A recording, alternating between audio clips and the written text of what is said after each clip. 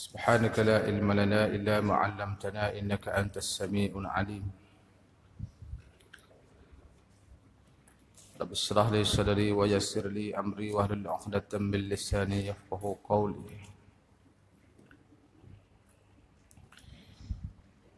رب زدنا علما نافعا وفهما مستقيما وهداية للثواب لا حول ولا قوة إلا بالله العلي العظيم حول ولا قوة إلا بالله العلي العظيم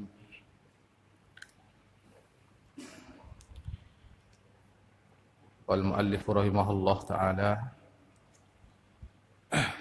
setengah daripada ahli tawarikh kata setengah daripada ahli sejarah dan insyaAllah pagi ini sebagai hisah terakhir untuk kita uh, darah kita pada kali yang ini uh, mungkin hisah yang kedua tu tidak ada dah. Uh, hisah yang pertama cukup untuk khatam kitab kita. Uh, sebagai darah kali pertama lah. Kitab Munyatul Musalli Tahqiqul Wafi ini.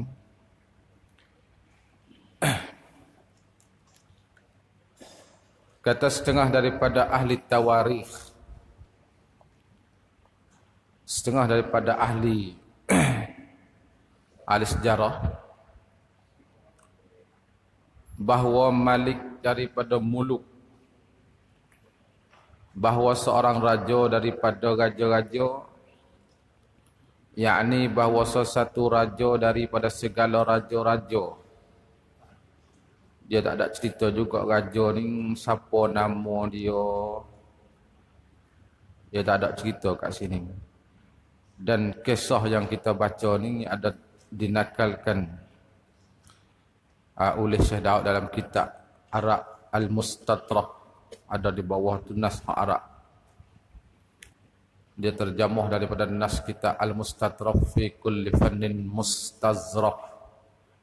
Kitab tu masih cerita di hari ini jadi tahkikkan oleh ulama-ulama satu jilid kitab ni. Jadi dulu tu ah, kita cari susah juga Syekh Daud ni dia nakal segala nas ni daripada mana? Ah, rupa-rupanya ada satu buah kitab. Namanya Al-Mustatraf fi kulli fannin mustazraf. Uh, karangan bagi Al-Abhashi. Uh, Al-Abhasi ke Al-Abhisi gitulah uh, pengarang dia. Seorang raja daripada segala raja-raja keluar berjalan di dalam memelakahnya. Ya, dia keluar tengok rakyat-rakyat suasana kampung. Hal keadaan menyembunyikan dirinya dia keluar lagi tu dia tidak bawa kaki tangan dia lah. Maksud dia tidak ada bawakan askar-askar. Dia keluar seorang diri ya. Maknanya kalau kita tilik kan tak tahu katakan raja. Biasa, macam rakyat biasa. Padahal dia tu seorang raja. Maka turun ia atas seorang laki-laki. Maksud turun ni mana berhenti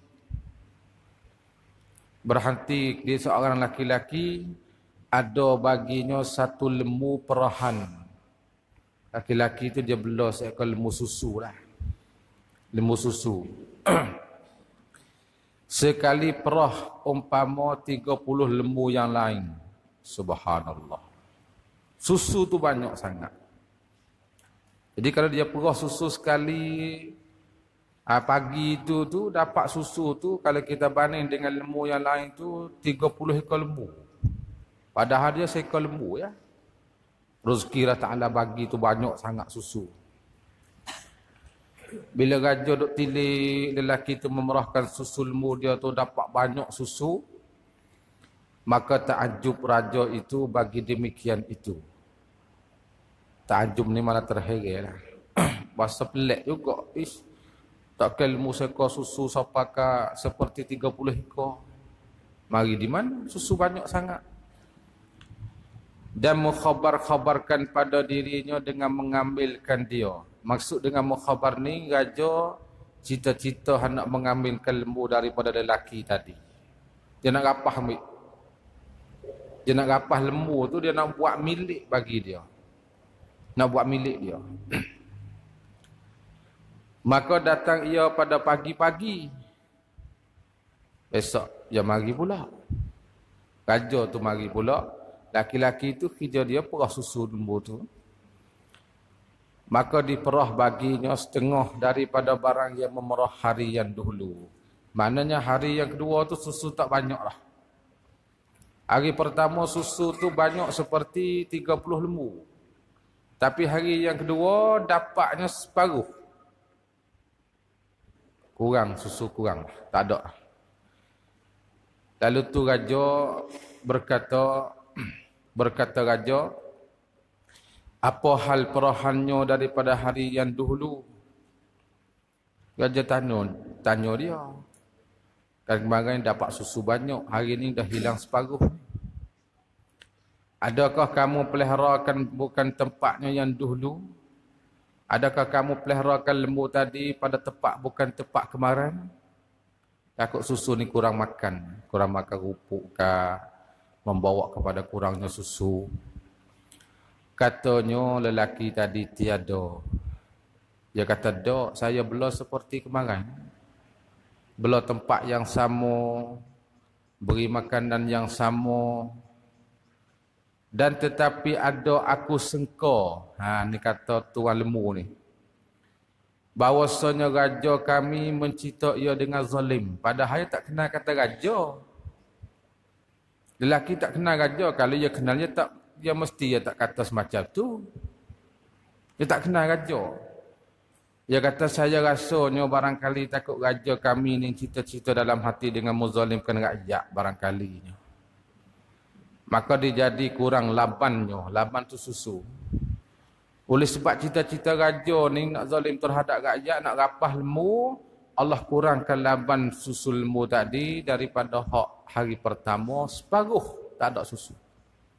Separuh susu tak ada.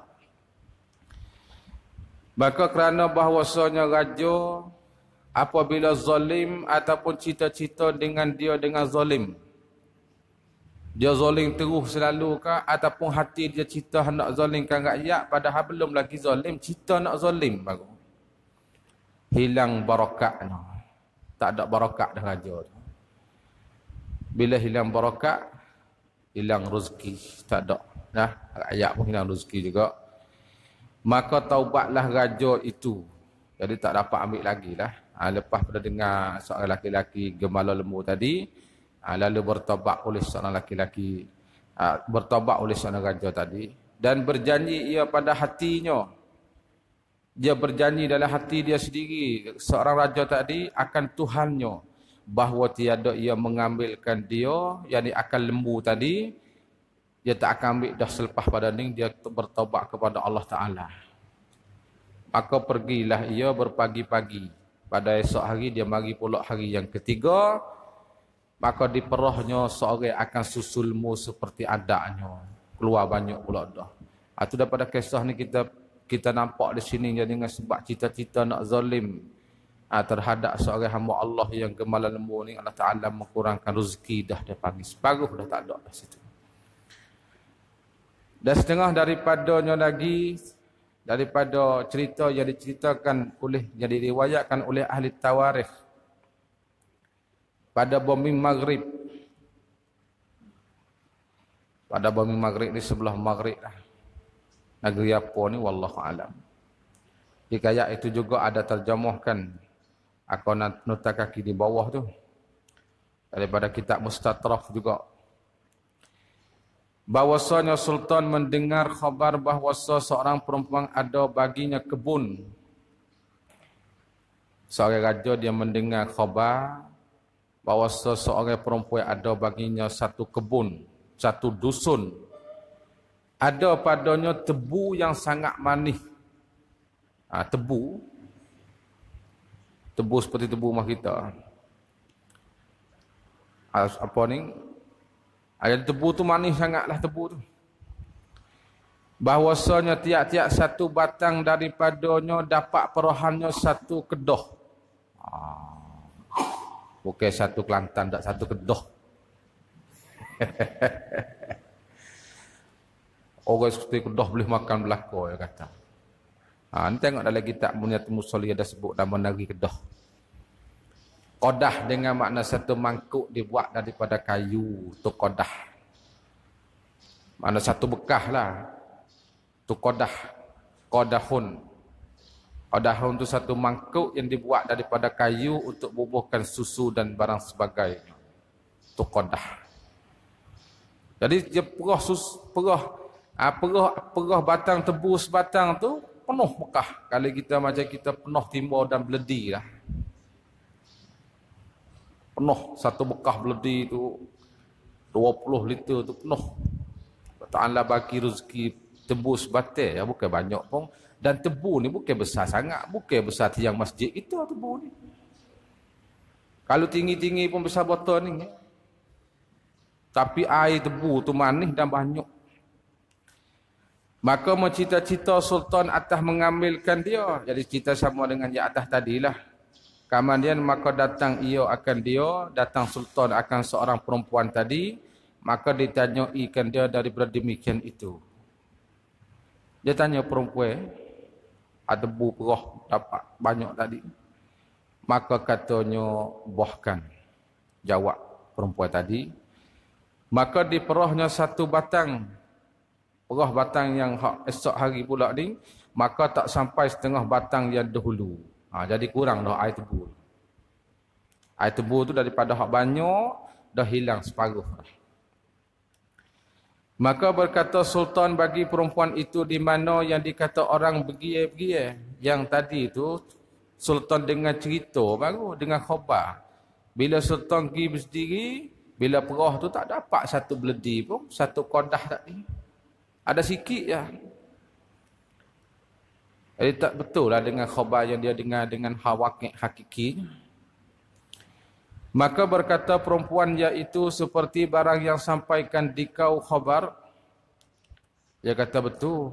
Jadi kemarin ini seperti khabar yang Tuan Hamo dengar semacam itulah. Tebu sebatai ini dapat penuhkan satu bekah. Malaikan bahawa adalah sultan sonyo telah mencita atas mengambilkan dia cerita dalam hati hendak mengambilkan satu kebun tebu tadi maka terangkat barokat padanya. Jadi hilang barokat ni hilang ke rezeki yang Allah Ta'ala bagi. Maka taubat sultan pada ketika itu taubat selalu dah raja tadi dan menjanji ia akan Tuhan pada dirinya di dalam diri dalam hati dia bahawa tidak mengambil ia akan dia. Tidak mengambil sultan akan tebu tu daripadanya daripada perempuan tadi. Dia tak akan ambil dah tebu ni selama-lamanya. Dan ikhlaskan niatnya. Kemudian menyuruh perah pula. Di perahnya satu batang, maka datang memenuh kedahnya pula. Ha, jadi, seperti cerita yang ha, kisah yang sebelum pada ni lah. Jadi perah kali yang yang yang yang ini penuh. Mana kembali ke rezeki itu seperti awal. Banyak pula Allah Ta'ala bagi. Dan di hikayat, ni tak ada apa lah semua di belakang ni. Dia cerita tentang hikayat, cerita-cerita pemerintah dengan rakyat dan barokat. Adanya barokat sultan, barokat rakyat gitulah.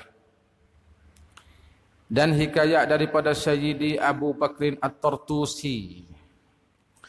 At-Tartusi itu tulisan dalam asal munatul musalli dengan sin lah.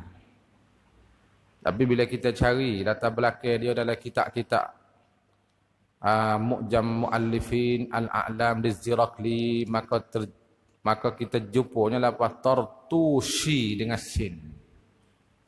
Ada dengan sin tak ada, ada dengan sin. Barangkali Tartusi lah. Seperti nota kaki di bawah lah.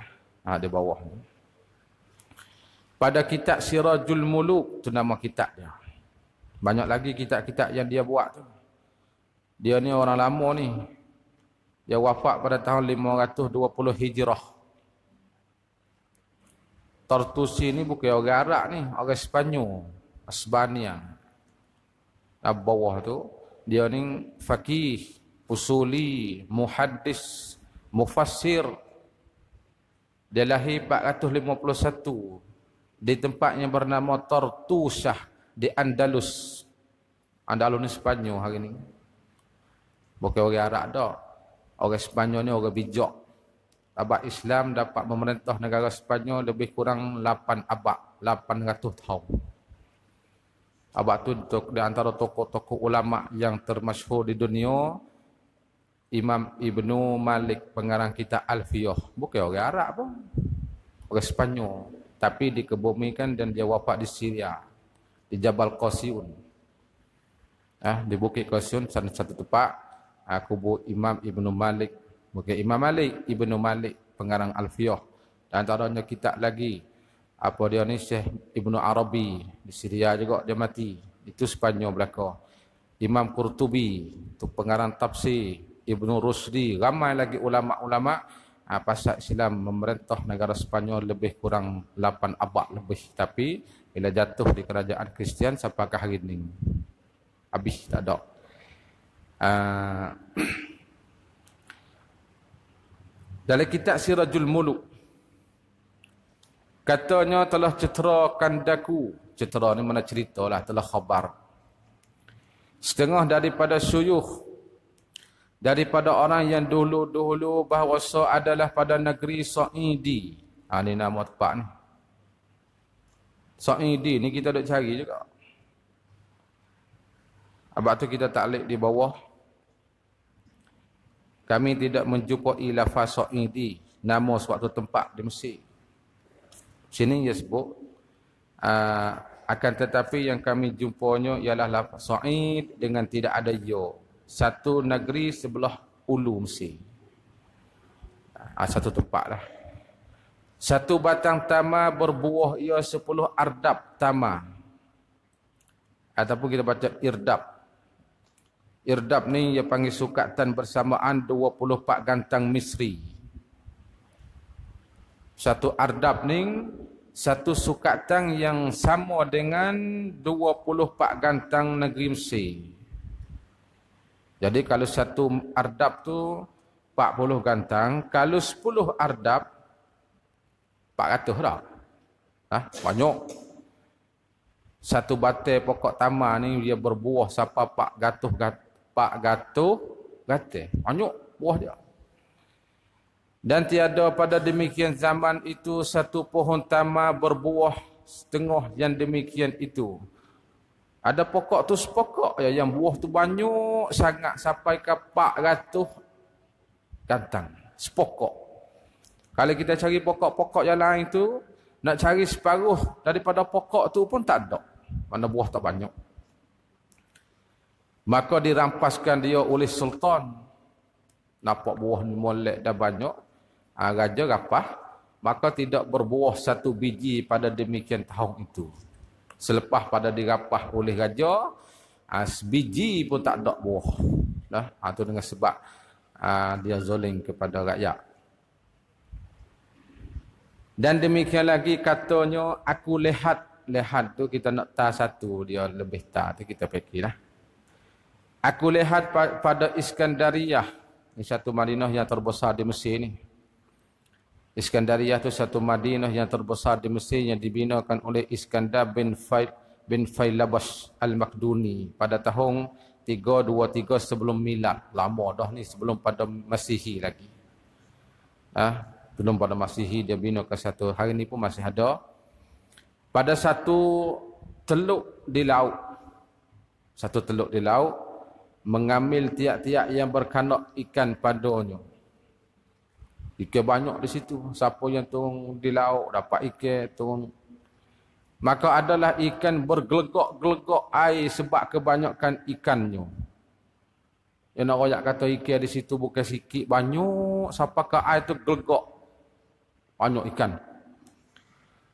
Dan adalah kanak-kanak mengambil dengan kainnya juga. Budak-budak ni takak ikan dengan kain je. Selak baju tangguk naik boleh setambung ikan. Banyak sangat ikan. Itu hari ni tak boleh higat dah lagu tu. Ada dah kita pun. Ha. Kemudian ditahan oleh walinya memerintahkan tempat itu. Ha, pemimpinlah raja. Dan menegahkan ia akan manusia daripada mengambil daripadanya. Jangan siapa ambil ikan ni, dia nak rapah ambil dia lah tempat kawasan tersebut tu. Maka hilanglah ikan itu daripada tempatnya. Akhir ikan satu ekor pun tak ada tempat tu. Lari tak tahu apa ke mana habis. Hingga tiada hampir didampaknya seekor hingga sekarang. Ha, sekarang ni pada masa pengarang kita lah. Ha, apa ni? Tuwe asal lah. Mungkin masa kita learning, learning ni wallahu alam. Mungkin tak ada senguti ke ada wallahu alam. Inilah segala perkara yang memberi bekas dan melalui oleh Rusia segala raja dan citanya yang tersembunyi di dalam mereka itu kepada rakyat. Dengan sebab cita-cita yang hendak menzalimkan rakyat itu mudah hilanglah separuh rezeki ataupun hilang semua rezeki bila dia sudah zalim terhadap rakyat. Jika baik, jadi baik mamlakahnya.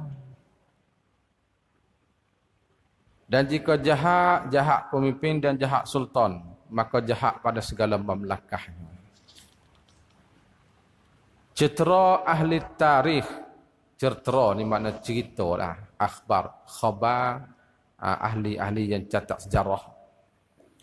Sahih tak sahih tu dia tak seperti hadis. Cuma ada waris orang tua-tua duk cerita. Kita nak pakai 100% kata sahih tu pasal tak ada sana. Nah, cuma boleh kita mengambil uh, iktibar gitu ya.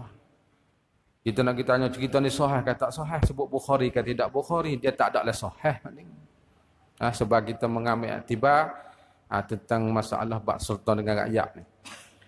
Di dalam kitab mereka itu dan cerita ni juga ada sebut oleh kitab Mustatraf dia dah sebut situ. Adalah segala manusia apabila berpagi-pagi pada zaman Hajjat. Hajjat bin Yusuf As-Saqafi ni. Ajak penyusup asal kopi ni dia orang lama. Nu, orang apa dia? Dia lahir di Taif pada tahun 40 Hijrah lagi. Dia dia mati 95. Umur dia lebih kurang 55. Hajat bin Yusuf As-Saqafi ini di antara pertama kali orang mengadakan wang dirham yang tertulis di atasnya kalimah La ilaha illallah Muhammadur Rasulullah. Dia mula-mula sekali. Duit zaman dia tu dia tertulis La ilaha illallah Muhammadur Rasulullah. Ha, tulis di situ. Uh, bertanya mereka itu. Ini orang sezam, orang yang semasa pemerintahan bagi Hajjaj bin Yusuf As-Saqafi. Siapa-siapa kena bunuh semalam ini? Orang kecil waktu pagi kan, dia tutup cakap kedai-kedai kopi. Siapa kata kena bunuh semalam? Ya memang masa dia tu hajat ni ha, segi zalim pun dia ada juga. Pemerintah masa tu. Ha? Ha, tapi kebaikan dia tu banyak. Dan siapa orang yang kena solo? Kena solo, kena solik lah. Solik macam kayu palai tu. Kayu gadah Kristian tu. Siapa kata kena takak di kayu ikat pak. Macam pok Kristian tu. Ha, dan siapa orang yang kena pukul dan yang seumpamanya. Jadi tak ada cerita hal lain. Zaman Hajjat bin Yusuf As-Sakafi ni mana bertutuhan tak molek. Kecik siapa yang kena bunuh, siapa yang kena buat uh, nyanyai.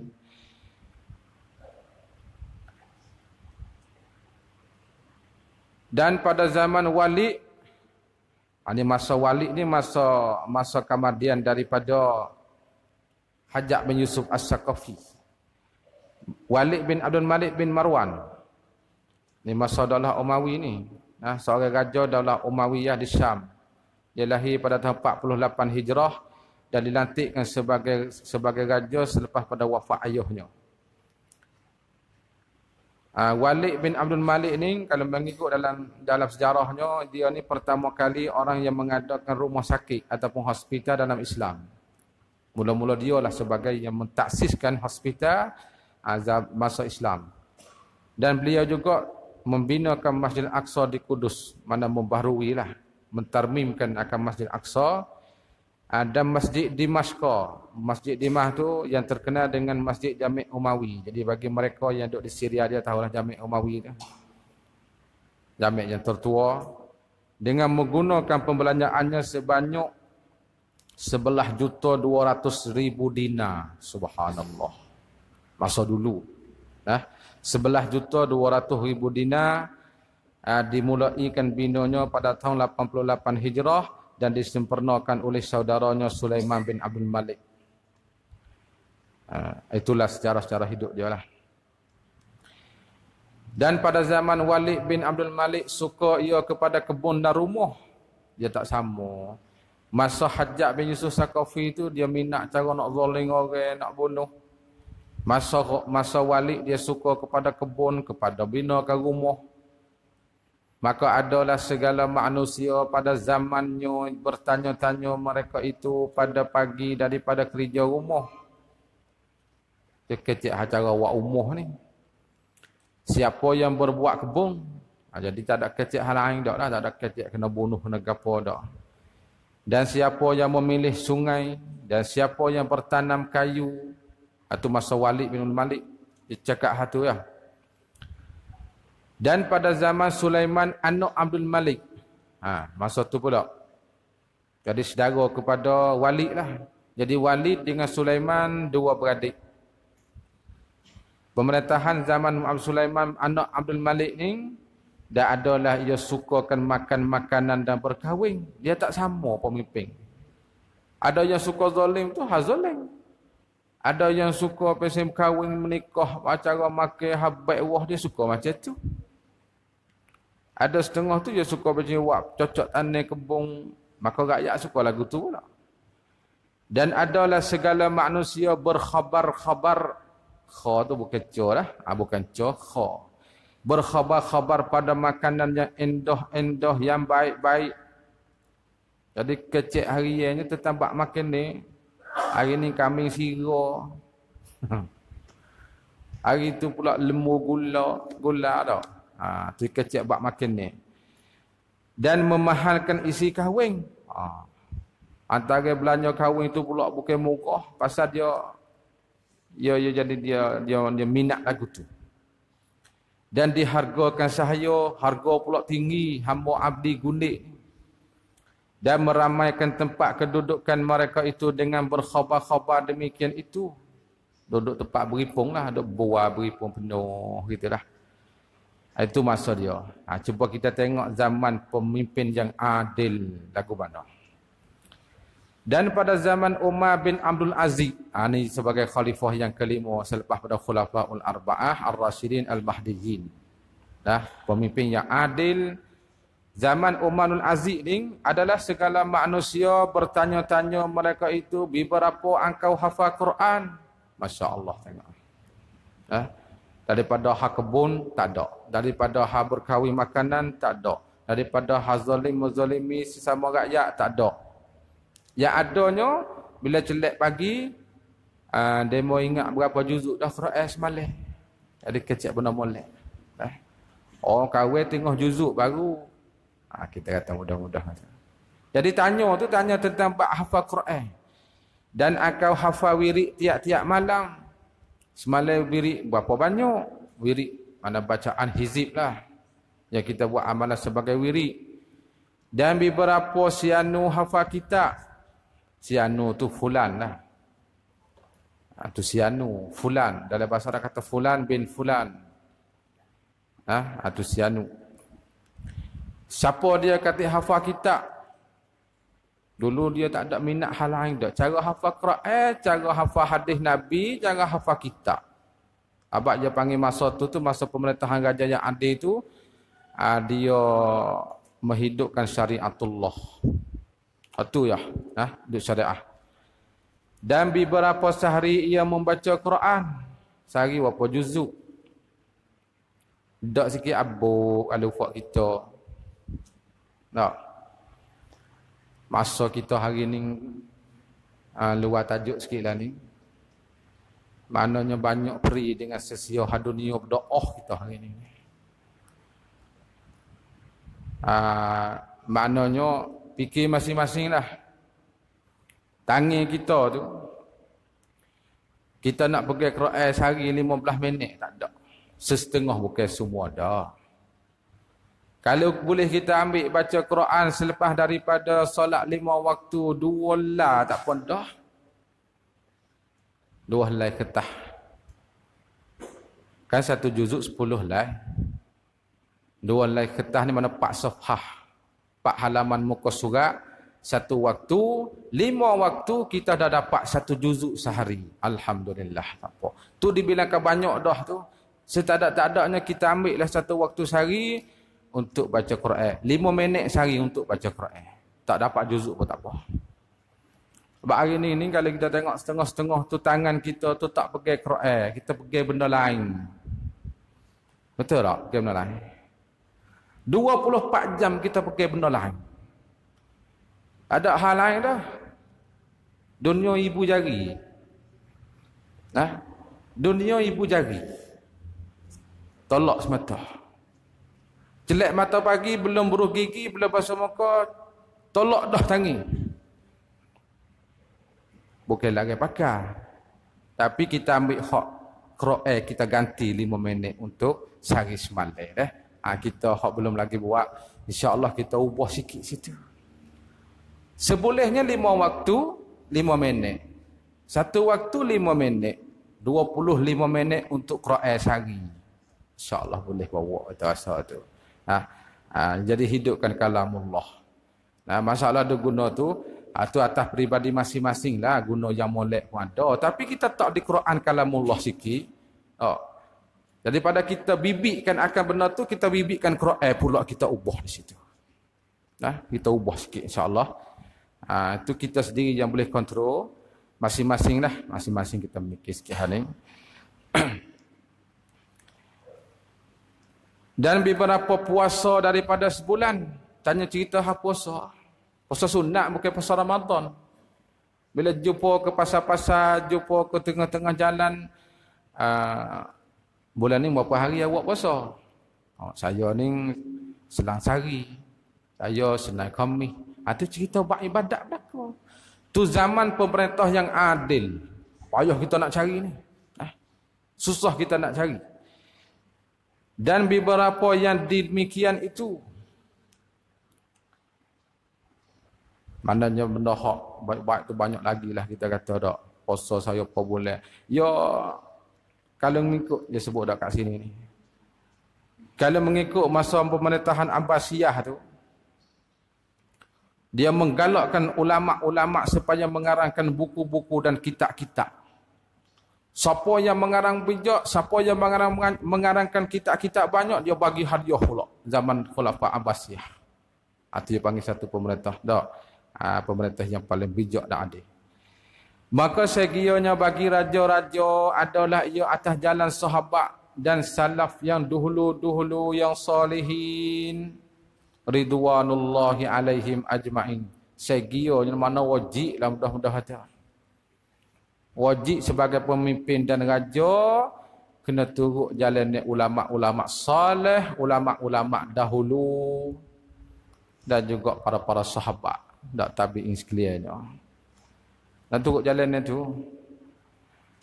Dan mengikut dengan mereka itu pada perbuatannya. Kita ambil sebagai contoh. Kan? Perbuatan sahabat kita buat dalam hidup. Hidup hari kita ni. Dan perkataannya dan kelakuannya. Maka orang yang menyalahi pada demikian itu. Iaitu tak mustahil. Yakni tak jauh daripada binasanya. Orang yang menyalahikan akan jalanan sahabat. Orang yang menyalahikan daripada jalan ulama-ulama salafus salih. Kalau Allah Ta'ala nak turun bala pun tak jauh lah orang itu. Nah, mana binasa orang itu. Dan tiadalah atas sultan yang adil malaikat nabi yang mursal ataupun malaikat yang mukarrabin. Nah, di menempatikan. Dan sonya telah dikata orang adalah seumpama sultan yang adil seperti angin yang mengembangkan segala bunga. Angin dia dia pupuk kan? Bunga dia buka sekali dengan udara sejuk sikit. Dan mensuburkan segala ruh hamba Allah. Itu seumpama sultan yang adil. Dan segionya bagi raja jangan ditaruh akan hajab Ajab ni bodyguard lah orang jaga pintu. Dah dia panggil hajab. jadi kesakitan orang yang kena zalim daripada masuk mengadu. Ayah nak cari kat ni. Orang sebagai jadi raja, pemimpin, kadang-kadang dia keluar tu, bodyguard. Kapit kiri kanan kita 15 tu, 15 biji. Itu misal tak. Ha, maka kita nak cari raja ni mana? Jenis duk biasa, tak berhajat kepada ha, bodyguard dia tak dah nak hajab. Orang tunggu pintu ni kita nak masuk tu mengajar ni 15 pintu. Pintu ni 15 orang nak boleh masuk sekat cik ke apa lagi. Jadi bila orang nak mengadu, nak mengayuh tentang kezaliman ni susah sikit. Nak sampai dalam tu. Tak, ha, susah. Ha, segianya jangan ditaruh akan hajab. Tak usah taruh lah. Nah, penunggu pintu ataupun penjaga pintu. Itu hajab dia panggil.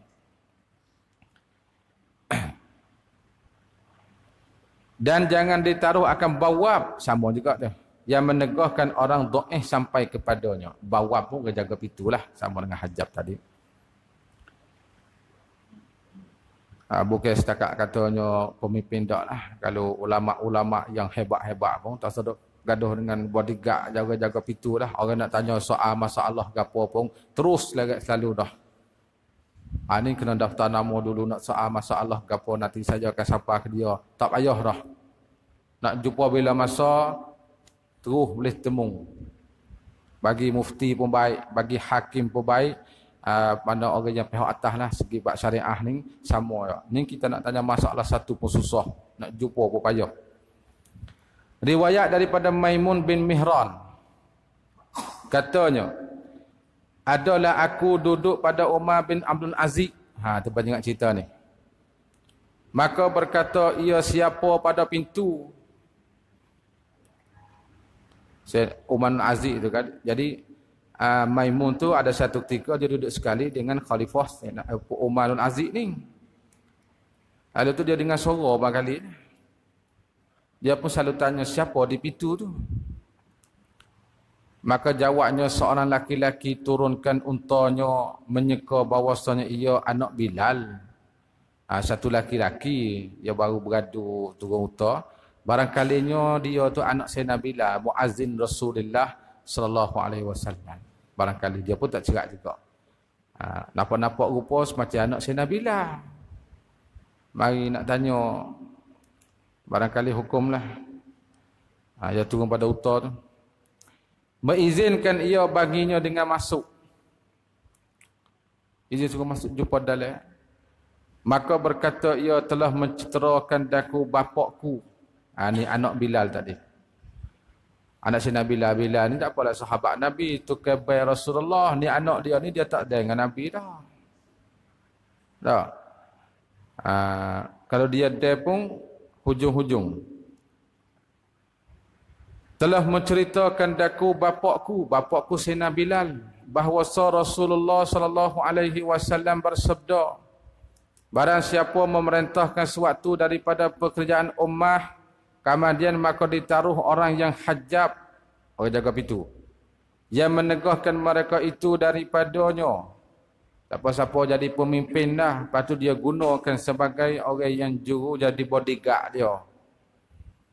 Malaikat mendinding Allah Ta'ala daripadanya pada hari kiamat. Oh, satu seksa juga. Akhirat esok lah. Nah, apakah tak payah pakai bodyguard lah terus selalu lah sini. Maka tak tak kalau mendengar ia, ia Umar Abdul Aziz tadi. Ya masa tu dia ada orang jaga pintu lah. Bila dengar cerita yang anak Bilal ni daripada Rasulullah cerita Umar Abdul Aziz dengar, berkata ia bagi orang menunggu pintunya, pergilah kamu duduk di rumah kamu. Balik-balik sampai ada sini. Mula-mula tu ada juga. Mula-mula tu ada juga bodyguard bagi dia. Bila dengar semacam hadis tadi, ha, maka dia halau keluar. Membalik gitu rumah mulah tak payah duduk sini. Masya Allah lah. Sebab apa? Sebab dia takut akhirat Allah Ta'ala akan mendindingkan dari kiamat nanti. Dan tidak dilihat akan seorang kemudian daripada itu duduk pada pintunya. Lepas tak ada lah. Tak ada orang jaga pintu. Ha, cuma kalau ada orang khidmat untuk kotor itu mungkin ada. Habis kata. Dan kata Khalid bin Abdullah Al-Kushairi. Uh, dalam kitab Muniatul Musalli Ha'asa dia tulis macam itulah Al-Kushairi. Tapi kita cari maklumat Khalid bin Abdullah Kushairi ni. Uh, dia tak ada. Uh, barangkali yang adanya di bawah kita taklik itu. Barangkali yang betulnya Al-Kusa Al-Kusari. Uh, Al-Kusari. Dengan tidak yo dan dengan sin. Bukan Al-Kusari, Al-Kusari. Jadi nama penuhnya Khalid bin Abdullah bin Yazid bin Asad Al-Kusari. Abul Haytham dengan tha dah pakai kitab. Abul Haytham seorang raja di Iraq dan seorang khutabaul Arab. Dia lahir pada tahun 66 Hijrah. Berasal keturunan keturunannya Yamani, orang Yaman. Ia seorang ahli Dimas. Tapi asal keturunan Yaman dah. Beliau memerintahkan Mekah pada tahun 89 Hijrah, kemudian di Kufah dan Basrah tahun 105 Hijrah. Uh, itulah belakang sikit sebanyak. Apa yang dia kata? Berkata ya. Bagi hajibnya. Hajib tu mana orang jaga pintu kan? Hajib hajab. Itulah ya. Apabila duduk aku pada tempat dudukku, bila aku duduk tempat yang aku duduk ni, maka jangan engkau tahan seorang masuk kepada aku. Siapa nak masuk, sila masuk. Tak usah tanyalah. Tak usah sekat tanya ke apa belak tak lah. Maka bahawasanya wali yang memerintahkan pekerjaan orang tidak mendengar orang masuk kepadanya. Malaikat tiga perkara. Orang dungu yang benci ia sertanya melihat atasnya seorang atau pekerjaannya syok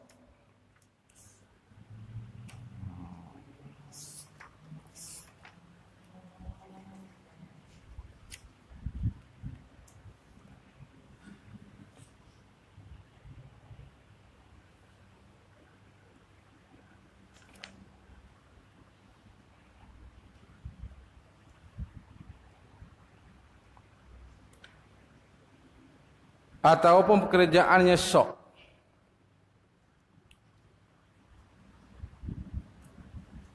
Ataupun hajat. Ha, bila orang ada hajat mustahak ke apa kan. Ha, tu kena lepas terus masuk selalu lah.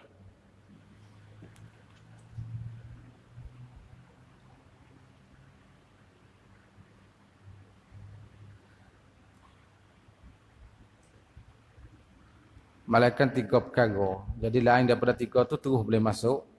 Dan cabut tiga. Satunya orang dungu yang benci ia sertanya melihat atasnya seseorang.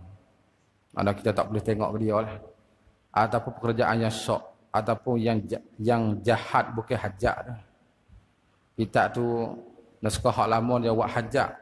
Mana orang yang jahat, yang ditakut. Jadi kalau kita nampak orang nak zalim kita, boleh kita Askat tanya dulu. Jadi kalau nampak kata tak zalim, nampak berlembut, nampak baik, kita teruskan masuk temu sama raja. Daripada bahawa nyatakan kepada orang ataupun orang bakhil benci memintakan orang pada suatu.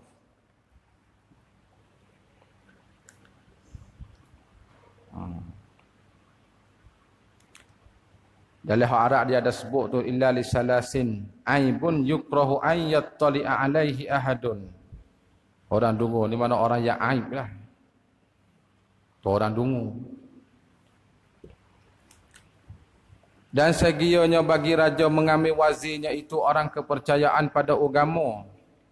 Sebagai pemimpin dan raja kita ambil sebagai penasihat kita tu orang yang reti bab agama, bab syariah. Sebagai penasihat. Benar pada lidahnya. Cakap betul.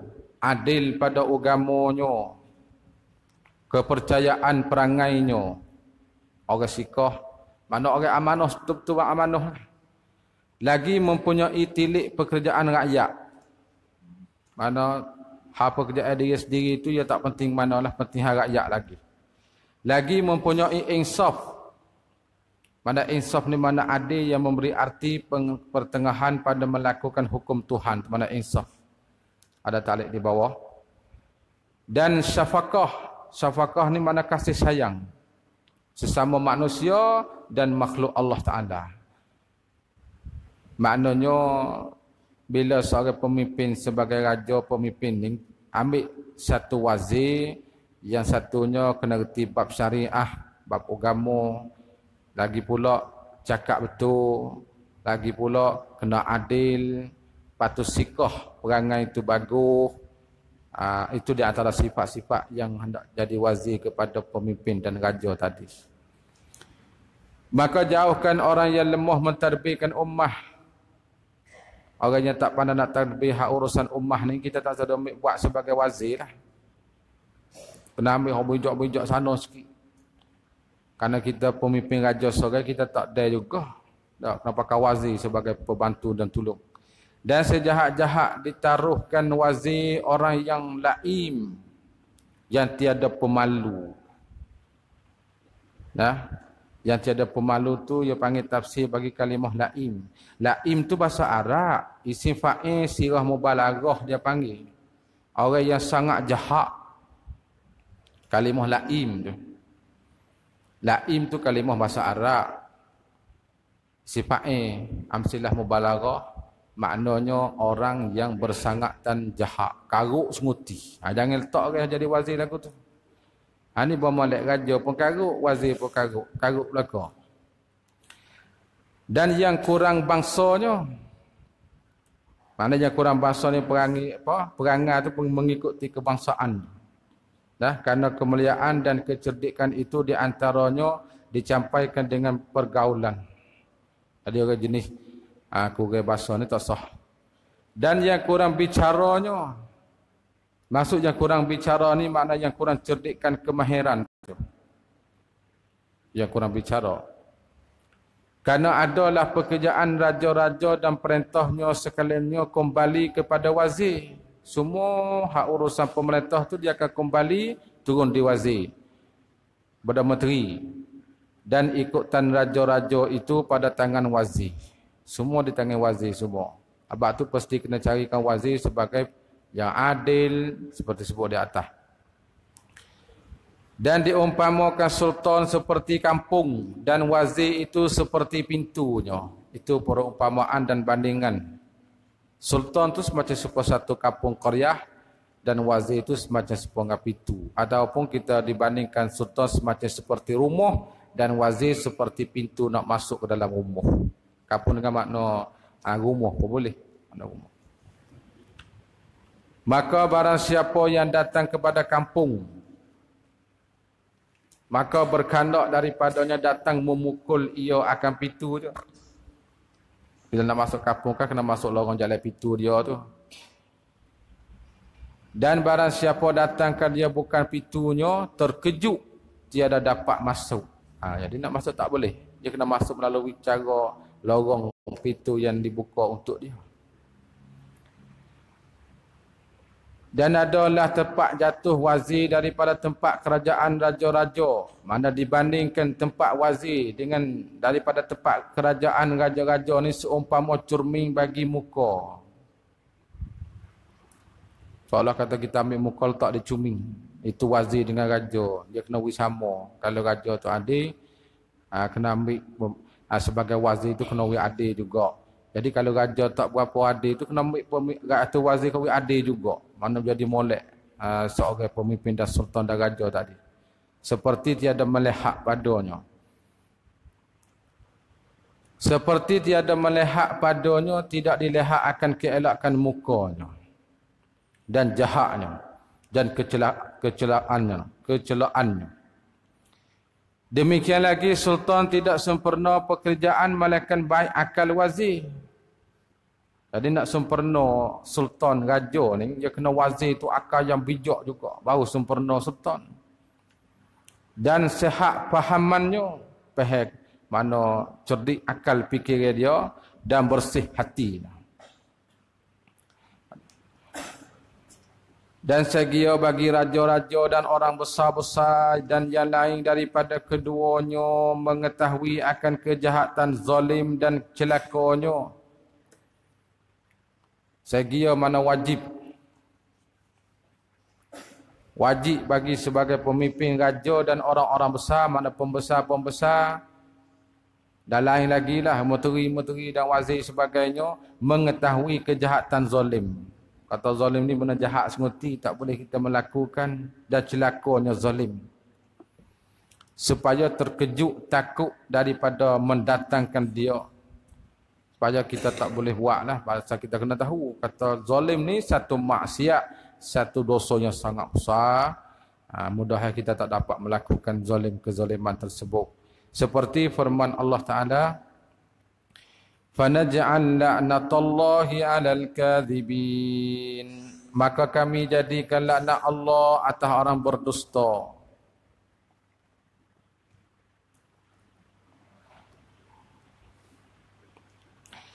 Dalam kitab hak asal tu kalau orang yang bawa munyatu musalli hak asal dah maka surat 35 tu fanaj'al la'natallahi 'ala zalimin Nah, orang yang ada tu.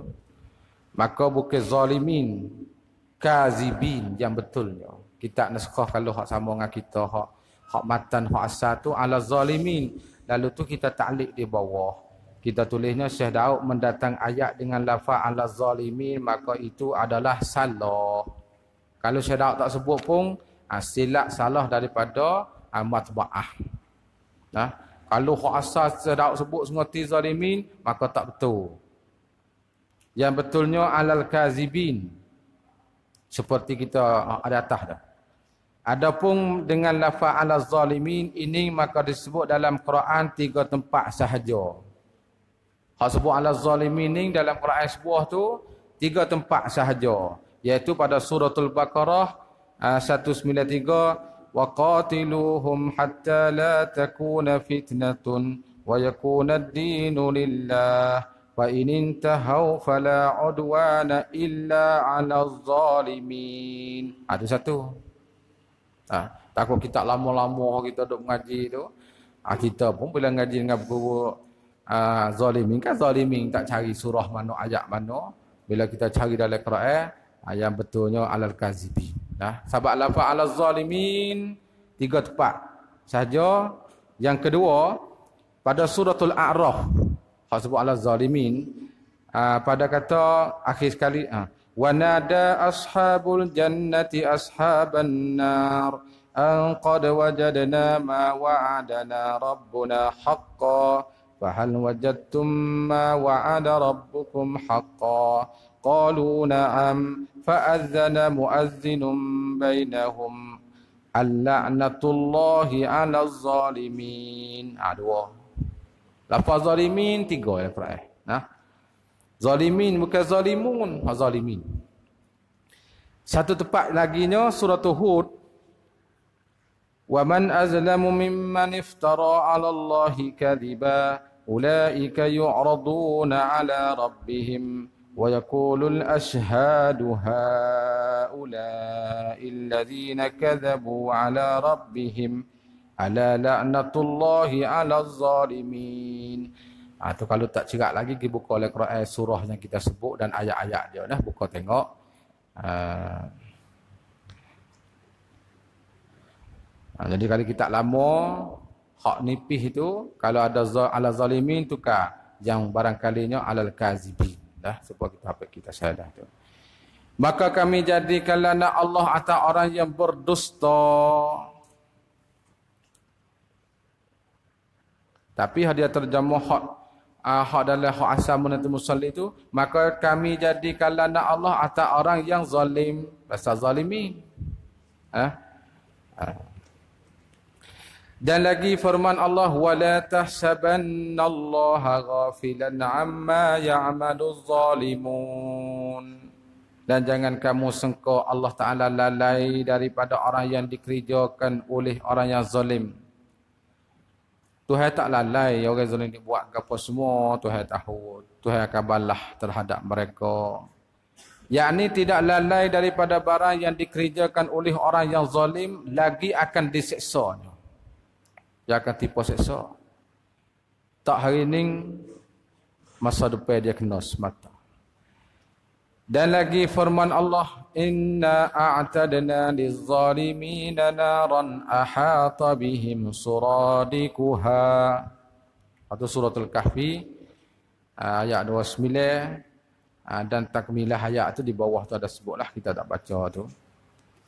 Artinya bahawa kami sediakan bagi orang yang zalim itu api neraka yang meliputi dengan mereka itu di kelilingnya. Orang yang zalim. Dan sabda Nabi sallallahu alaihi wasallam Man iktata'a haqqam ri'in muslimin aujaballahu lahu an-nara wa harrama alaihi al-jannata faqala فقال رجل يا نبي الله ولو كان يسيرا قال ولو قضيبا من أراك apa maksud hadis ini Barang siapa memutuskan hak seorang yang muslim telah diwajib Allah baginya api neraka. Maksud memutuskan hak orang muslim ni kita ambil hak orang. Okay. Kita ambil hak orang. Hak tu hak orang, patut kita ambil milik dengan cara kita rapah kita dakwa kata hak kita dengan dakwa bohong ke, tu memutuskan hak muslim. Benda tu betul-betul cerak hak dia. Kamu dia kita mengaku kata hak kita. Dia pun tak berani. Hati panggil mutu hak muslim. Maka jawapan balasan mereka diwajib Allah baginya api neraka. Hadis itu ada sebut di bawah panjang, nah panjang lebar lagi. Dan diharamkan atasnya syurga. Maka sembah seorang laki-laki ya Nabi Allah. Dan jika ada ia sedikit, adalah kita ambil sikit, tak banyak ahli hak dia ni. Masalah kita pergi rumah orang tu, pergi makan kenuri, baca arwah tahlil. Sudah makan nasi, nasi lekat celah gigi, Lenggak-lenggak tengok tu dia tak sagu. Di serambi dia. Umur zaman dulu tak sagu. Ambil lidi tak sagu colek gigi sikit. Tak ada minta tu eh pun. Tak boleh. Ha? Kena minta izin dulu. Ha, ni nak minta lidi sikit ni tak sagu tu nak colek nasi celah gigi. Tak apa. Abah hak. Hak ni. Nah. Dia panggil kita pergi supaya makan nasi. Bukan hidup huik di, di atak dia. Cadai di rumah lah kalau dia kocek baju tu. Untuk nak colek gigi lah. Ataupun dia mau sediakan tempat. Yang sebenar pun benda sedikit ni tu eh. Pun bukan duk payah, duk karik sangat. Bukan tu kata, jangan duk ambil aku tak halal tu lidi tu. Ada, dia tak kata. Tapi kita ni kena tahu sepatah. Minta izin kebenaran daripada Tuhan punya. Tu ya. Tak boleh. Sebab tu sahabat tanya Rasulullah, walaupun sedikit, tak boleh juga kasih sikit.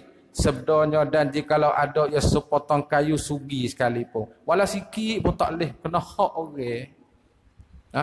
Ni hak orang tak boleh sama sekali. Ha, kena beringat.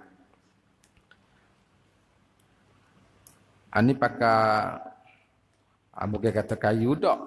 Ha, pakai curi tu. Allah pun nak jadi tak tahulah.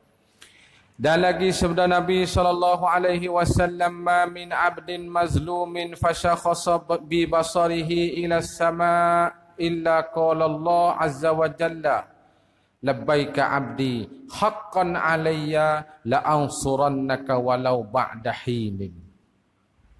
Ada ini riwayat Ja'far bin Muhammad.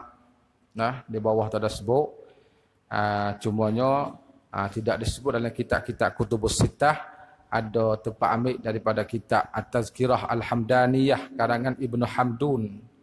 Uh, satu lagi Nihatul Arab fi Fununil Adabi. Nah, uh, itu uh, tak siapakah hak sahih tu tak ada lah tu tu. Tiada daripada seorang hamba yang dizalimkan oleh orang. Maknanya mazlum lah. Satu orang hamba Allah ni diwaanyanyai oleh seorang. Jadi dia pun tak kuasa nak lawan, dia tak kuasa nak menolak, teriak saja. Kemudian mata melihat dengan matanya ke langit. Kinayah daripada berdoa dengan Allah. Mata lenggak naik ke langit berdoa dengan Allah. Ya Allah, Ya Allah, Ya Allah. Malaikat firman Allah Ta'ala bahkan hi hamaku sebenarnya atasku sungguhnya aku tolongkan di Ah, orang yang kena zalim. Sebab tu di antara doa yang tidak ditolakkan oleh Allah, doa mazlum. Doa orang yang kena zalim ni Tuhan tak tolak. Ah, Tuhan makbul. Dan jikalau lama masa sekalipun aku akan tolong kau, hei hamba-Ku. Ah tu Tuhan jamin sendiri tu, nah. Bila kita kena zalim, selalu kita berdoa dengan Allah. Dan lagi sabda Nabi sallallahu alaihi wasallam Ala wa inna zulma salasatun Zulmun la yughfaru wa zulmun la yutraku wa zulmun maghfurun. Fa amma zulmu allazi la yughfaru fasyirku billah. Qala Allah ta'ala إن الله لا يغفر أن يشرك به ويغفر ما دون ذلك لمن يشاء وأما الظلم الذي لا يترك فظلم العباد بعضهم لبعض وأما الظلم الذي يغفر فظلم العبد لنفسه Ah, tiga sini zalim dah. Kezaliman dia terbagi kepada tiga yang mafhum pada hadis. Tengok dia terjemah. Hadis tu ada ditakrikkan uh, riwayat At-Tayalisi dalam uh, kitab dia uh, dan juga Kanzul Oman bagi Al-Hindi. Artinya ketahui olehmu bahwasanya zalim itu terbagi ke atas tiga bahagi. Pertamanya zalim yang tidak diampun sekali-kali. Ha, Kezaliman ni Tuhan tak ampun sekali-kali. Satunya Tuhan nak ampun. Tak. Kena masuk Islam semula. Kalau tak masuk Islam Tuhan tak ampun. Iaitulah syirik. Bila syirik dengan Allah. Syirik je panggil zalim juga. Tuhan tak ampun tu. Dan keduanya zalim yang tidak ditinggalkan. Maksud tidak ditinggal ni. Tidak dilepaskan dan dibiarkan daripada azab seksa. Zalim honing mesti kena azab. Tak lepas. Dan ketiga zalim yang diampunkan. Yang ketiga ni. Ha, maka hak satu, hak mana, hak dua tu hak mana dia sebut. Maka ada pun zalim yang tidak diampunkan dia itu sekutu dengan Allah. Ha, kita panggil syirik lah. Kufur dengan Allah. Yang ni sembah akan yang lain serta Allah. Allah Ta'ala pun dia sembah juga. Tapi dia syirik. Ada Tuhan hak lain lagi yang istirak dengan Allah. Maka hak tu Tuhan tak ampun. Malaikat dia masuk Islam semula. Itu syirik dia panggil. Ha, maka syirik ni. Ha, syirik ni lah. Syirik jali ni. Syirik kufur ni. Bukan syirik dengan makna hak batak amalan tak dah. Hak tu dia panggil syirik khafi. Syirik khafi terus ni. Ha, ni kita buat benda lagu ni, dia kata kita syirik. Kita tawasul dengan Nabi, tawasul dengan wali-wali, syirik. Macam-macam syirik ni kata orang. Nanti dulu nak kata syirik pun. Bila dia sakit jangan pergi hospital. Takut pergi perubat. Syirik juga tu pun. Tak. Ha, jangan gaduh. Jangan gaduh. Kau dulu firman Allah Ta'ala bahwasanya Allah Ta'ala tidak mengampunkan orang yang sekutukan dengan dia dengan Allah dan diampunkan yang lain daripada demikian itu bagi orang yang dikhandakinya maknanya ha, malaikat dia masuk Islam baru Tuhan ampunkan dosa-dosa. Syirik tadi. Dan ada pun zalim yang tidak ditinggalkan. Mana tidak ditinggal tidak dilepaskan dibiarkan daripada azab seksa ni ditinggalkan. Maka iaitu zalim hamba setengah akan setengah. Ha, hak ni masuk dalam bab pemerintah ni, bab gajah ni. Hak tu tetap kena seksa. Dah, sebab zalim terhadap rakyat. Tiada dapat tidak daripada dihisapkan antaranya orang yang dizalimkannya hingga reda ampunnya. Kalau bukan bab pemerintah pun sama-sama kita. Masa muda dulu kita pernah zalim, kita curi bagi dia. Bubuhlah kata kita curi duit dia seribu. Tak tahu siapa hari ni, masa dah lalu 40 tahun mari dah. Dia masih hidup, kita pun dah hidup lagi. maka tu akan dihisap seksa akhirat esok tetap kena melainkan kita bayar balik duit seribu yang kita ambil 40 tahun yang lalu kalau kita tak bayar pun pergi minta bara'ah minta dia maaf halal kita. Kalau halal boleh. Kalau dia kata dia nak juga pasti kena bayar. Tak lepas tak hak lepas mari lama mari dah ni. Jangan buat mudah-mudah tu. Masa muda tu kalau hak ingat kena tunai belaka. Masa muda-muda, apa yang kita buat, apa yang kita bertes semua kena tunai belaka. Walaupun hari ni kita dah menyesal dah, kita dah buat haji, kita dah semaya lima waktu, tapi hal lepas tetap ada ada situ. Hal lepas kita kena selesaikan sebelum pada kita mati. Selesai dulu buat apa. Widya redha. Adapun zalim yang diampunkan, ini kezaliman yang ampun maka iaitu zalim hamba akan dirinya. Ini dia tak berkaitan dengan sama manusia dak. Ya.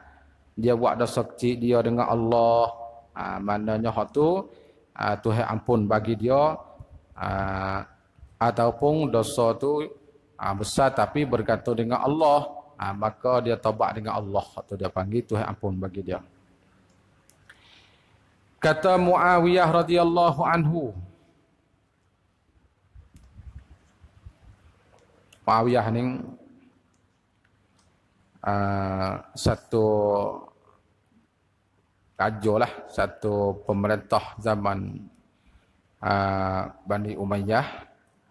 Uh, dia jadi khalifah lama ni 20 tahun semua. Sebagian ulama mengatakan 19 tahun setengah. Kata setengah ulama 19 tahun 3 bulan, 20 hari. Masa dia jadi uh, pemimpin dan dan merintah di, di Syam, di Damaskus eh, masa tu. Dia wafat pada tahun 60 Hijrah.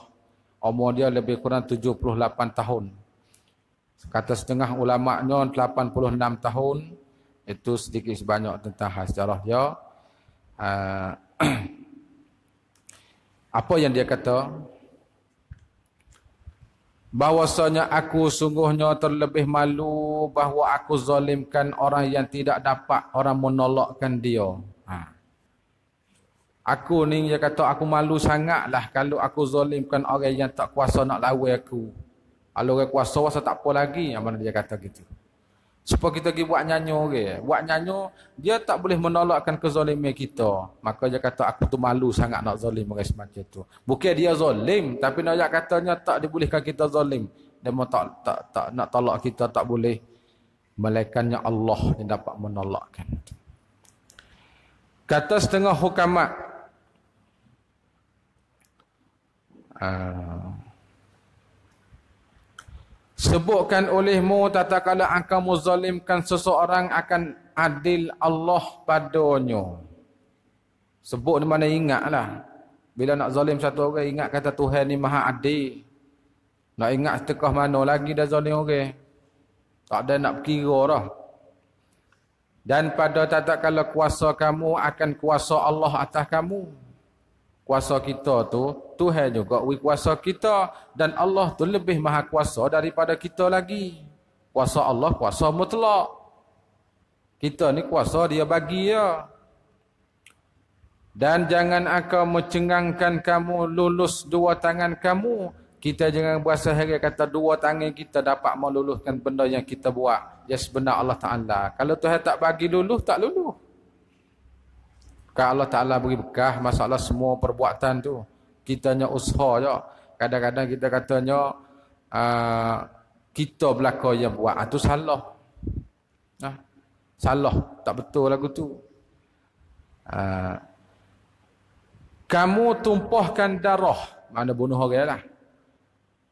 Maka bahawasanya baginya yang membunuh lagi akan mati seperti itu juga. Ha, balasnya lagu tu.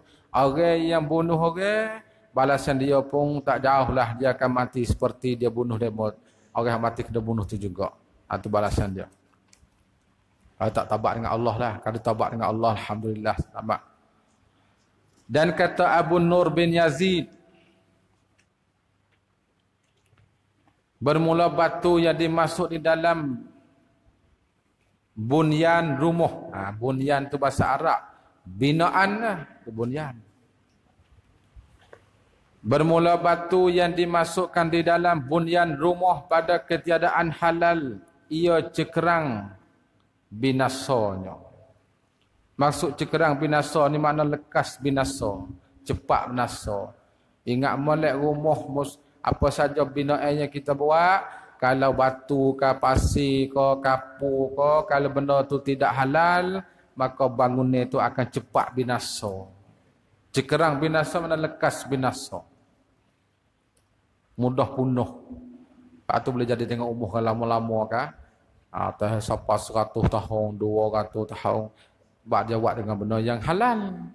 Maka kita hari ni kadang kita beli rumah sejuta, lima ratus ribu, dua juta kita kata, duit itu duit haram. Binasa, binasa kadang-kadang tadi ribut, tadi angin dan terbakar kebakaran bagai-bagai. Itu binasa belakang. Kena beringat tu nak buat tu. Dan kata setengah pula, Jikalau bahawasanya syurga ia negeri yang kekal dimasukkan satu ataupun sepotong kayu daripada zalim. Syurga ni tempat negeri yang kekal. Syurga ni di antara perkara yang tidak binasa. Antara makhluk Allah bila Tuhan buat ia tak akan binasa selama-lama. Syurga ni. Ya bukan katanya ada tahap seribu tahun, sejuta tahun akan binasa. Tak selama-lama dia tak binasa padahal dia benda makhluk Allah benda baharu yang tak binasa sekiranya kalau kita dimasukkan ke dalam syurga satu potong kayu yang tidak halal yang zalim nascaya aku takut bahawa binasanya Allah takut syurga tu penuh habis utuh dengan tu. Itu nak banyak kata benda zalim sikit pun tak boleh. Apakah lagi rumah kita buat benda yang tak halal? Ni syurga tak binasa dah. Yakni sangat hampir binasa rumah yang diambil batu ataupun kayu yang haram. Ha, ingat nak buat rumah tu, nak pergi tebal kayu dalam dalam belukau orang tu kena minta tu orang punya. Katik kalau hak milik orang.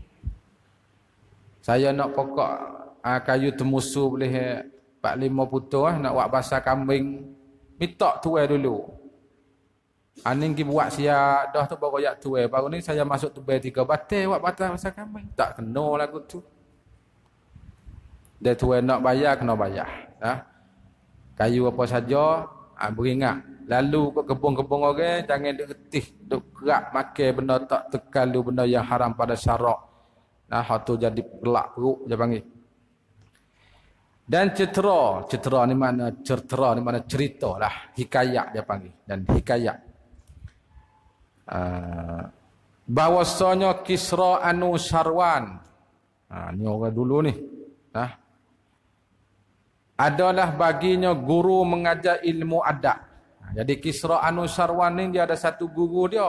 Dia raja lah ada satu guru yang mengajarkan ilmu adab untuk dia hingga masyhur ia pada ilmunya. Dan dipukulkan dia oleh gurunya pada satu hari dengan ketiadaan dosa yakni ketiadaan kesalahan. Ya Kisra Anusarwan yang mengaji ia pun anak raja dah. Kisra Anusarwan ni anak pemimpin raja yang terbesar. Kemudian uh, dia ambil satu guru tu untuk hajar Kisra ni. Ajar ni hajar-hajar tiba-tiba satu hari itu Kisra Anusarwan tak ada buat satu kesalahan pun tapi guru tu ambil kayu pukul dia tak ada sebab pun. Panggil mari depan ka. Wah. Katok situ boleh. Agote dia. Agote dia. Dia pun tak jawab apa. Maka menaruh marah pada hatinya. Hati tu marah. Nanti aku jadi raja, guru ning, ha, boleh sakit eh? Ha, dia nak balah masa dupai. Dia aku jadi raja, dia kata. Dan ni dia tak lagi dah masa tengah duduk belajar. Ha, tapi hikmat guru dia tengok jauh dia tilik. Maka tak kala baik ia kerajaan baginya. Bila dia jadi pemerintah, ayah dia sudah meninggal, raja tu akan jadi turun kepada dia. Maka berkata ia bagi gurunya, ha, dia gurunya masih hidup lagi. apa yang engkau apa yang menanggung akan dikau atas memungkulkan daku pada hari begian dan begian dengan zalim jua? Dia kata tok guru hai ingat tak masa mau duk ngaji pondok dulu tok guru dia ambo dulu? Ha kita duk pondok. Dia tak ada buat salah pun. Tak ada ambilnya tok guru makan tak ada duk kait buah motel tok guru serati ayat tak semoleh makan. Dah tapi tok guru dia ambo pukul ambo ni Ingat tak Tok Guru? Tok Guru ingat muka dia pukul. Tak. Maka kata gurunya, hanya jawab pada dia. Tak tahu kalau adalah engkau ni, aku lihat akan dikau sangat gemar pada ilmu. Aku nampak mu ni minat sangat ilmu ni. Ya aku aku mengajarmu ni. Aku harap bagimu kerajaan. Aku harap kata satu hari mu akan ganti ayahmu sebagai jadi raja yang sangat besar. Tapi ia ada ilmu. Eh? Kemudian daripada bapak kau. Aku harap gitulah. Sebab lepas pada bapak kau ni, kaulah sebagai raja yang uh, selepas daripadanya. Maka aku kasih, aku rasakan di kau pada zalim. Ha, aku aku pukulmu masa dulu gitu tu. Ha, masa dulu yang lepas mari berpuluh tahun mari dah tu. Aku nak wimu ni rasa kata ning lah orang yang kena zalim. Mana sakit dan sedihnya dan dendam hati cipe taruh dalam dada ni. Taruh lama mari dah. Maknanya nak we berasa kata sakit. Kalau guru dia tak pukul dia tak dapat merasai seperti orang yang dizalimi tu. Nak we rasa kata ning orang kena zalim sedih sakit semacam ning. Ha, bila mu jadi raja mu tak akan buat dah zalim kepada rakyat semacam aku buat kepadamu atau tinggi guru dia tilik ke jauh sangat dia tengok Mafhum tu lah. Ha, tu situ. Ha, supaya jangan akal zalimkan seorang. Supaya mu tak boleh zalim orang lain lagi. Maka berkata ia anu syarwan. Zah, zah. Jadi hak ngaji dengan guru dia baca gitu ya. Bukan zahin, zahin tak. Baca zah, zah gitu. Hak ngaji dengan guru lah. Ngaji dengan mullah baba. Ha, ni bandai baca zah, zah. Ha, dia saya dah terjemuh yakni elok, elok. Ha, molek, itu molek. Syarwan kata, Ha, terima kasihlah tu guru hajar lagu ni. Ha, mujur juga kalau saja tak dapat rasa sakit yang guru pukul pada masa yang dulu, maka mungkin hari ini akan saya zalimkan rakyat saya juga. Jadi terima kasih pula situ dah. Jadi zah-zah tu ha, jadi bila kita taklik kita carilah kelimah zah-zah ni. Kelimah apa zah-zah ni? Maka satu turun di bawah mengikut dalam kitab Mustatraf di atas yang betulnya zah zah. Ha, jadi tulisan hak bunyatul musalli itu ada alif tapi hak asalnya tak ada alif. Zah zah gitu ya. Dengan ketiadaan alif antara zai dan ha. Lafaz zah zah itu lafaz menghikayatkan suara manusia pada perkataan mereka ha, lafaz dia makna dia Imam As-Sa'alabi dalam kitabnya Fiqhul Lughah berkata Az-zahzahatu hikayatu qaulil murtadi zah-zah. Maknanya zah-zah itu uh, menghikayatkan perkataan orang yang meredaikan dengan suatu perkara. Bila kita reda ah. Bila kita reda, kita reda satu pendapat, kalau bahasa kita kata je, oh yo yo, gitulah kita kata zah-zah ni. Tapi kalau kita tak reda, oi bukan dia ni, ha tu tak reda dia panggil. Bahasa kita mudah gitulah. Hmm.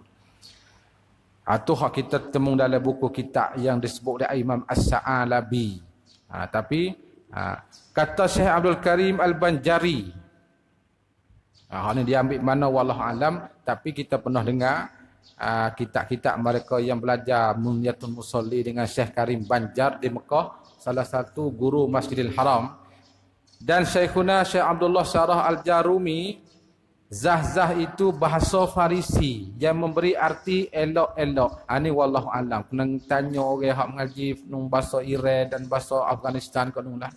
Ha, ini kita ambil sebagai bubuh pendapat yang dia kata. Ha, tapi yang kita jumpa dalam kitab zah-zah tu hikayatu qaulil murtadi. Itu makna dia. Maka setengah daripada raja yang dulu-dulu disurat pada hamparannya akan syair ini. Ha, ni raja dulu ni dia tak seperti raja zaman sekarang. Di tempat tidur dia tu dia tulis syair tangguh dah. Bukan dia tulis hamparan lepas tu dia duduk di atas dak. Tak. Ada wak hamparan wak tepat di jidah apa dia tulis. Ha, taruh bucu ataupun di atas kepala dia yang kecil. Apa dia tulis? La tazlimanna iza ma kunta muqtadira fazulmu masdaruhu yufdi ilan nadami tanamu aynaka wal mazlumu muntabihun yad'u alayka wa aynullahi lam tanami. Dia tulis kalau syair situ sebagai nak beringat diri dia bukan ayat nak itu jaga tubuh pedak tu nak beringat diri dia takut zalim bila dia nak buat satu benda dia tengok. Nak nak malam dia tengok. Bila masuk tidur dia baca. Masuk tidur dia baca. Sebagai sebagai apa? Ha, tambih untuk jaga. Uh, artinya jangan kamu zalimkan orang apabila ada kamu kuasanya. Bila kau kuasa kau jangan menzalimi ke orang lain. Maka zalim itu tempat keluarnya membawa kepada menyesal. Itu ha, kalau syair dia, dia tulis tu makna dia. Tidur dua mata engkau dan yang kena zalim jaga ia meminta doa atas kau. Doa atas ni doa bahaya dia panggil. Bukan doa molek.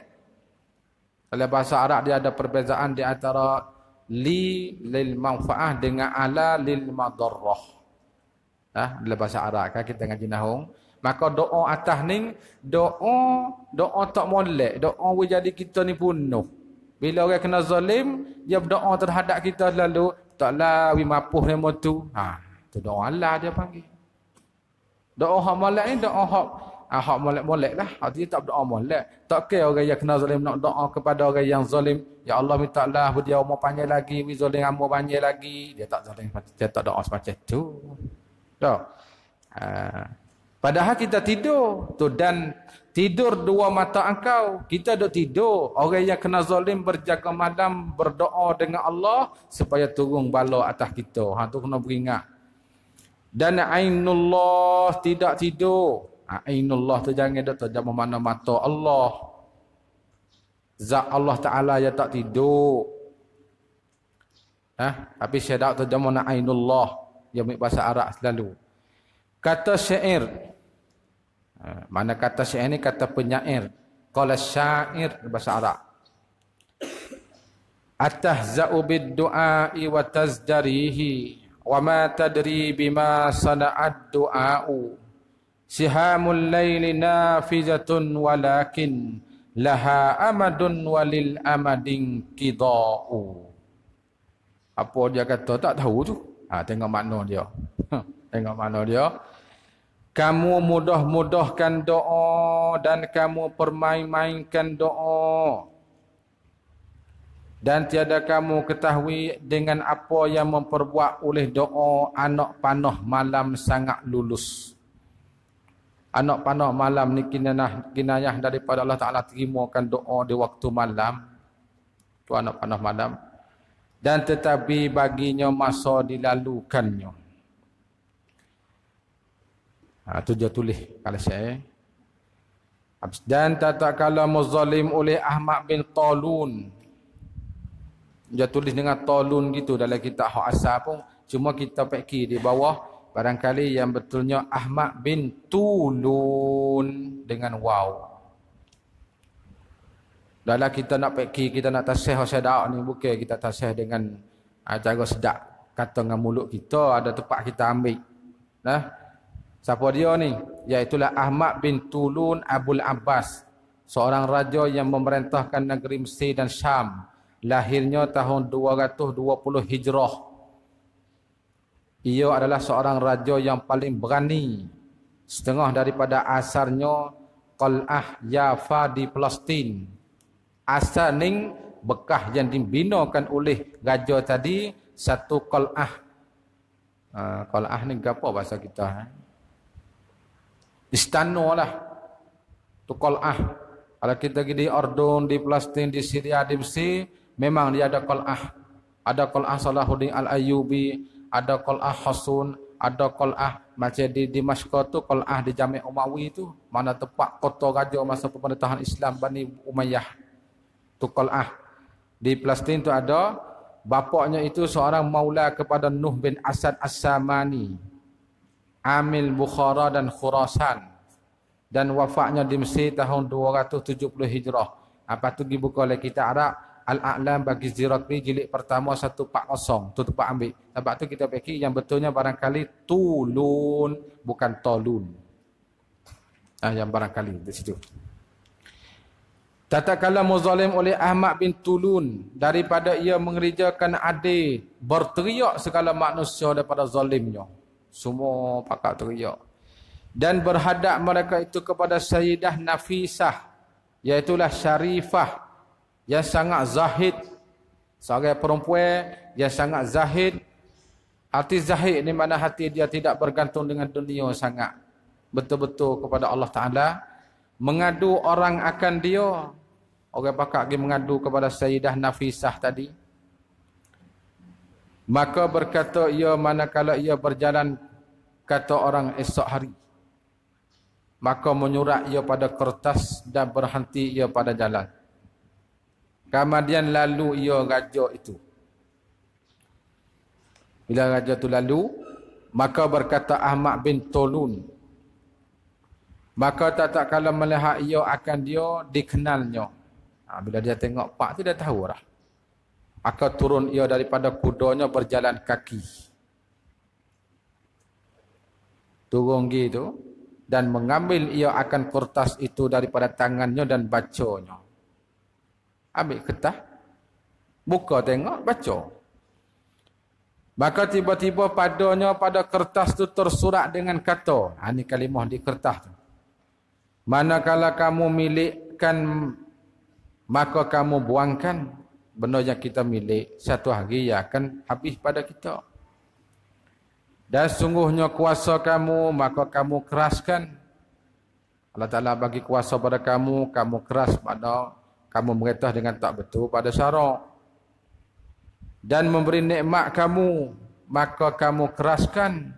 Nikmat Tuhan bagi untuk turut syukur nikmat Tuhan. Dan manakala kamu beri nikmat kamu payahkan oleh kertas. Uh, dan jika kamu datangkan rezeki maka kamu putuskan. Dan sonyo telah diketahui kamu sonyo yang sesungguhnya anak panah malam sangat lulus tiada tersalah.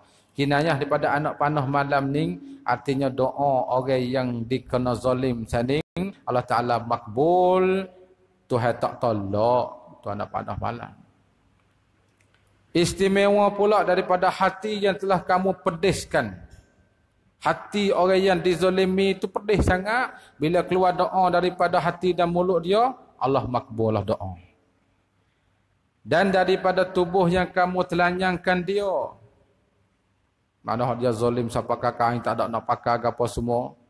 Orang itu juga Allah makbul perbuat oleh kamu apa yang kamu kena maka bawasa kami sekalian sabirun. Mu nak buat apa buatlah. Tapi buat kami tetap kami sabar. Nak lawan tak boleh. Dan zalim kamu bawasa kami dengan Allah. Kami minta tolong dengan Allah dan zulmah kamu. Dan bawasanya kami kepada Allah mengadukan zalim kamu kamu duk zalim hari-hari itu kami mengayuha dengan Allah, kami berdoa dengan Allah. Dan lagi akan diketahui oleh mereka itu yang zalim. Mengenu ia di mana berpaling mereka itu. Kemudian katanya, maka ia pun mengadilkan rakyatnya. Kemudian daripada ketika itulah. Ha, selepas daripada baca surat yang termaktub seperti dibaca di atas tadi. Ha, selepas tu dia pun beradil Ah, dia adil terhadap rakyat ah, ketika itu selalu. Dan sa'ah itulah maka mengerjakan oleh orang yang akil, orang yang berakal bahawa ia menegahkan daripada tangannya daripada zalim dan berjalan ia di atas jalan adil dan melakukan pekerjaannya dengan insaf dan mengitai-ngitai akan suruhan Allah pada sirnya dan zahirnya. Sir itu mana uh, siri lah. Dan ketahui pula bahawasanya Allah Ta'ala lagi akan membalas atas segala amal kebajikan. In khairan fa khairun wa in syarran fa syarrun. Bila buat baik, dapat baik balasan. Sebalik kalau yang jahat, dapat jahat. Dan kejahatan. Dan diseksakan zalim, zalimin atas zalim. Uh, kemudian kita kita, Alhamdulillah. Ha, habis kata doa khitam. Ha, doa khitam.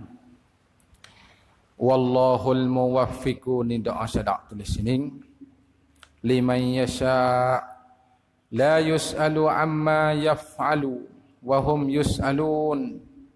Wa sallallahu ala sayyidina Muhammadin kullama dhakaraka dhakirun. وغفل عن ذكره الغافلون وعلى آله وأصحابه وعترته الطاهرين صلاة وسلاما دائمين إلى يوم الدين والحمد لله رب العالمين. اللهم إني أسألك خير المسألة وخير الدعاء وخير النجاة وخير العمل وخير الثواب وخير الحياة وخير الممات. وثبتني وثقل موازيني وحقق إيماني وارفع درجتي وتقبل صلاتي واغفر خطيئتي. وأسألك الدرجة العليا من الجنة. اللهم إني أسألك فعل الخيرات وترك المنكرات وحب المساكين وأن تغفر لي وترحمني. وإذا أردت فتنة بقوم وتوفني غير مفتون وأسألك حبك وحب من يحبك وحب عمل يقرب إلى حبك. اللهم إني أسألك إيمانا لا يرتد ونعيما لا ينفد ومرافقة نبينا محمد رسول الله صلى الله عليه وسلم في أعلى جنة الخلد الحمد لله الذي أنعم علينا وهدانا إلى الإسلام يا مقلب القلوب ثبت قلبي على دينك سبحان ربك رب العزة عما يصفون وسلام على المرسلين والحمد لله رب العالمين Itu doa saya sebagai tamak kitab Menyatul Musalli dia. Kata dia telah selesai faqih ilallahi ta'ala Daud bin Abdullah Fatani telah sudah tulis kitab dia ni dah. Uh, menterjemahkan risalah yang bernama Munyatul Musalli ini di dalam negeri Makkatil Makkatal Musarrafati pada waktu duha, waktu duha, waktu pagi, uh, hari Selasa 15 hari bulan Zulhijjah, uh, hijrah Nabi alaihi afdalus salah wa azkat taslim tahun 1242 tahun Ha, mana gitu? Ha, 1242. Ha, ya nak mulainya tahun 1000 lah gitu. Ha, jadi pada tahun hijrahnya, jadi kita ni hampir 200 tahun. Sekarang 1439. Tiga tahun lagi cukup 200 tahun. Kita punya tu musalli. Eh? Ha, cukup 200 tahun. Alhamdulillah awalan wa akhiran wa batinan wa musalliyan ala sayyidina Muhammadin wa ala alihi wa sahbihi wa sallama tasliman. Amin. Walhamdulillahi rabbil alamin. Alhamdulillah. Jadi kita yang sambung tu bahjatul martiyah tu kita tak baca. Uh, kalau masa ada lain kali lah ya sebenarnya kita di belakang tu ya tak banyak sangat berkaitan dengan muwafiq dan masbuk. Jadi kalau kita baca muafiq masbuk ni masalah dia tu kita kena main berhenti senguti lah. Dan cara halusi. Ha, cara muafiq masbuk ni. Satu kitab yang penting tu bagi kita salat berjemaah tu bila tak kerti muafiq masbuk ha, maka seleroklah salat kita semayang kita dah. Lain kali ha, bila ada masa kita akan baca semula insyaAllah ta'ala. Jadi sekadar tu saja untuk sebagai uh, daurah kita Munyatul Musalli ataupun Tahqiqul Wafi yang kita taklik atasnya. Uh, walaupun kita kata yang kita taklik tu kita baca tak sepenuhnya. Kerana masa yang sikap. Sebab dulu ni tahun 2000 uh, rasanya 2012 uh, kita pernah buat daurah di pondok dulu. Uh, seminggu tujuh hari dah penuh kita baca cukup Ha, ini kita buat masa lebih kurang 4 hari tak penuh sangat dah. Dan ha, jadi besar hati daripada kita sebagai ha, tuai kita yang tahkik. Dah, kita harap kepada para-para guru, tuk-tuk guru dan babo-babo, para asatizah, ustaz-ustaz ha, di kalangan ini. Ha, ada lagi yang pandai pada kita-kita ni sebenarnya tak kerti ni tapi oleh kerana tunai ha, hajat mudi pondok kita ni saya mari juga. Ha, dan sebenarnya ha, di kalangan ramai-ramai ni ada yang pandai pada kita ni kita tak ni. Kita harap semua tu ha, tolong-tolong tasheh tolong-tolong baikkan ha, yang kita tulis di bawah. Ha, kalaulah ha, bercanggah dengan pendapat-pendapat ulama-ulama muktabarin dan kalau tak betul ha, selekai tolong tasheh ki. Ha, terima kasih banyak-banyak. Tapi selepas daripada ha, betul-betul perhati dan ta'amun ha, cari tempat dasar ataupun sandaran yang sahih. Dah? Ha, gitu harap betul-betul. Lagi pula ha, dalam kitab dalam kitab kita ni ha, bahasa yang kita tulis tu ia tak jadi bahasa lah. Kita ni maklum kita orang kampung biasa lebih lagi orang petanding ni ia tak ada bahasa. Ada bahasa kampung. Ha? Ha, jadi tulis cara tu ya. Nak jadi bahasa lagi tu kita tak pandai Ha, jadi kita harap waktu tu adalah kitab tempat yang demo tak faham tu demo tulis bawah jangan dia buai hak kita nah. Hak kita hidup situlah bahasa kampung kita nah. Ha, tulis di bawah. Ha, dengan makna gini. Kalau tak reti tanya apa itu dah. Ha, dan pulaknya uh, jadi uh, daripada awal sampai ke akhir ada silap sikit sebanyak uh, baik terkasar dalam cakap saya daripada awal sampai ke hari ini jadi kita minta maaf semua tak saudara muslimin dan muslimat hadirin dan hadirat sekalian. Uh, dan kita ni kita ijazah secara umum dengan syafawi dulu ijazah dengan mulut. Dan sebentar lagi insya-Allah kita akan waktu bik satu CJ ijazah. Uh, mungkin mereka yang hadir itu uh, kita serah pada mudi mazuki kita dia nak bagi lagu mana ya. Ha, lepas tu nama tu dia mau tulis sendiri lah. Tulis sendiri cuma kita cak sen kali dengan khotel siap dah situ. Sebagai barakah. Bukan iktirah, bukan apa-apa pun. Dah. Bukan kata dia ambil ha, CJ daurah kita takik wafi ni. Dia pergi masuk kerja ya tak leh. Ha? Sebagai ambil barakah. Mudah-mudahan kalau kita mati pun bila tengok CJ itu baca fatihah sekali hadiah fala pun tak podah. Ha, kalau saya meninggal dunia ke, ha, saya dulu ke, ha, demo dulu ke, tak tahulah. Bila teringat tengok CJ tu, Al-Fatihah boleh sekali kulhu, boleh seminggu kali baca. Ha, dah. Ha, hadiah lagi. ha, tu, tu yang kita harap. Mudah-mudahan Ta'ala balas balasan di akhirat nanti semua ha, hadirin dah hadirat sekalian. Dah. Ha, jadi, ha, setakat itulah. Ha, dan ajaz Uh, jadi kitab kita ni uh, ajaz tukum kita ijazah bahasa Arab dulu. Dalam kitab tulis tu dia tulis dengan termaktub bahasa Arab dah. Uh, ajaz tukum uh, khassatan uh, fi ma hadartum uh, wa ammatan fi ma fatakum minhu. Ananya saya ijazahkan kitab saya tulis ni uh, kepada semua hadirin dan hadirat baik yang dia mari awal lagi ke yang mari tengah-tengah ke yang mari di akhir di hujung-hujung di saat terakhir ke ijazahkan uh, khas kepada mereka yang hadir yang sempat belajar kitab pada awal sampai akhir.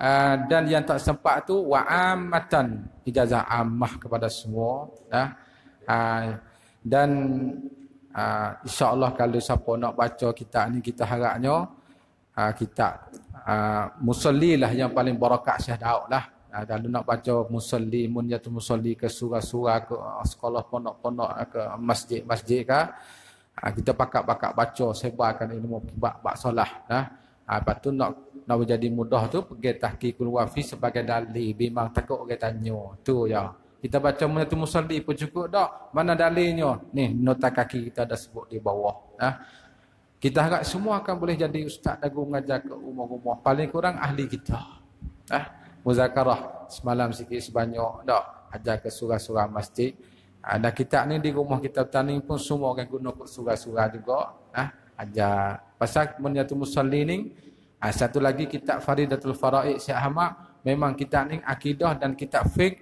ha, sejak beratusan tahun masa digunakan sampai sekarang hari ini. Ha, kita tak tinggallah kita ha, sebagai apa dia jalanan ulama-ulama tua, ulama dahulu.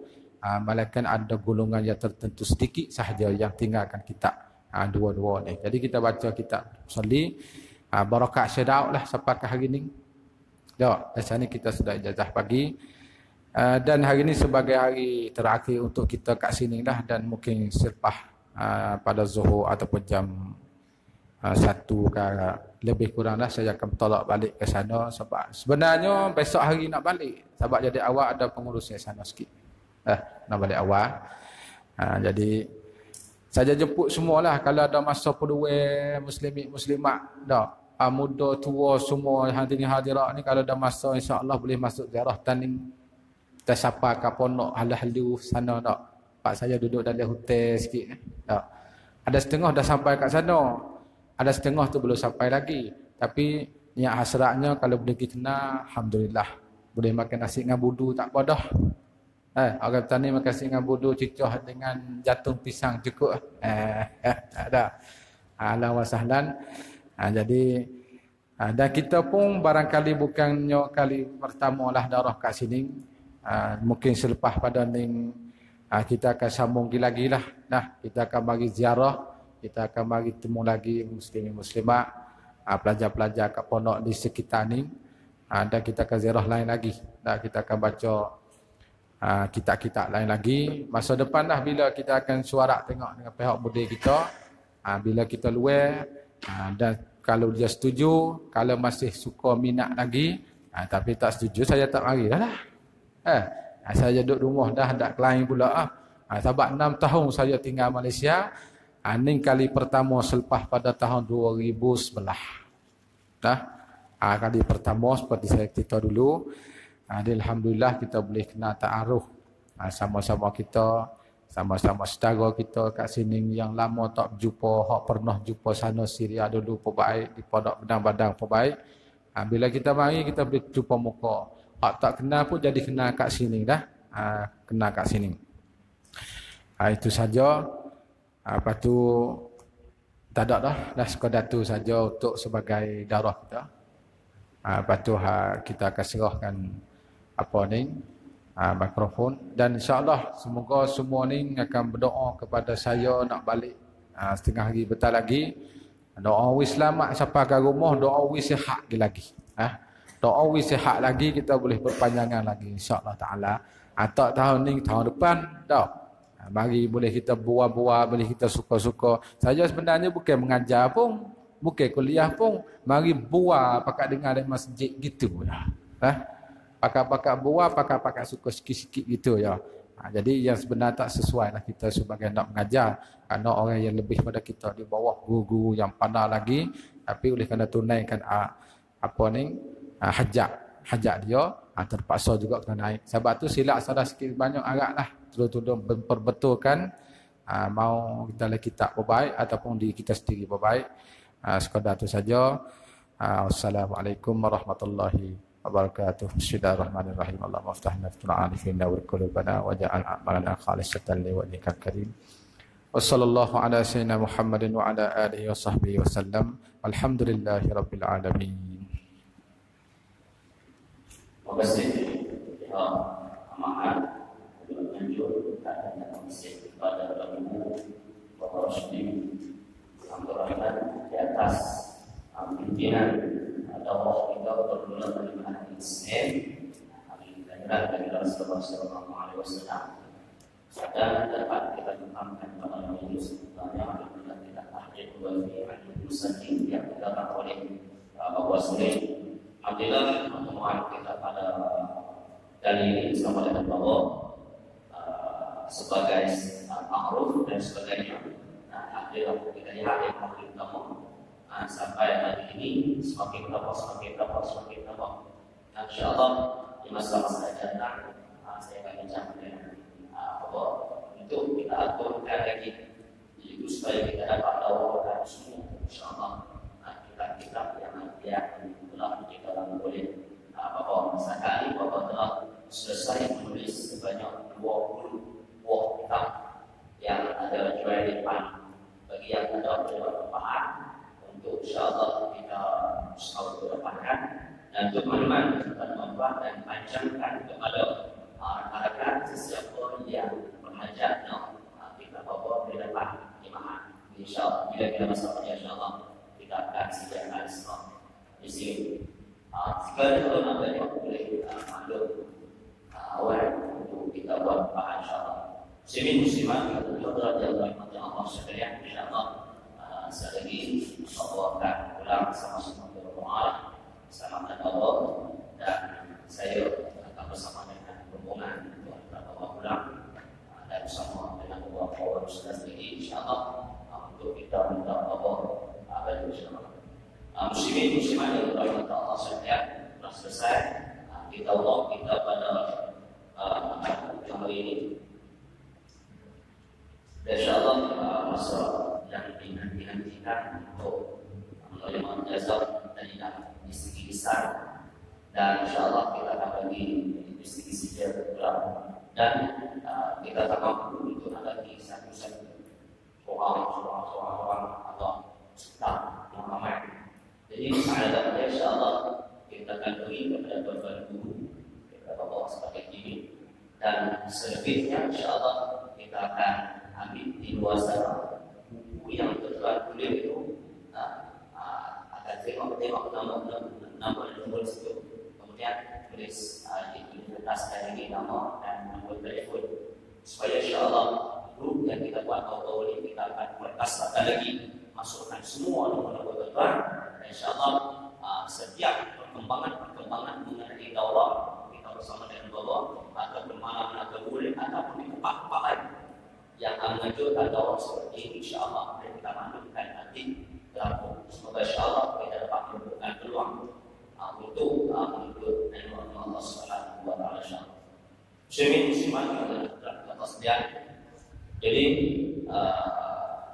sebelum sebut atau untuk menerima suka sebut juga bahawa insyaallah hari ini kita nak bersalam-salam dengan Allah.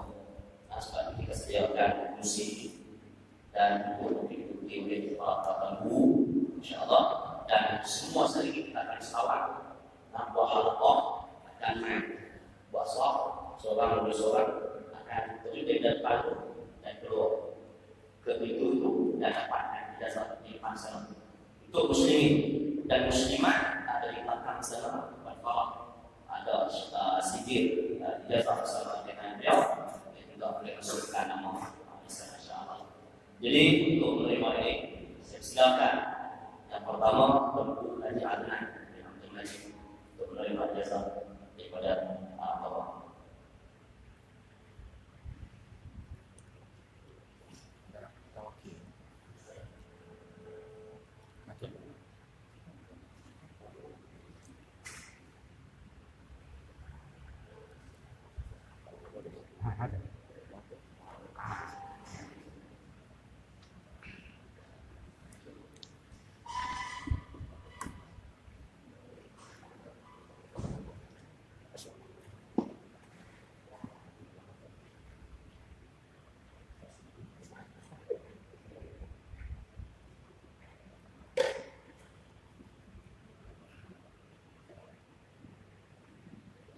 Betul.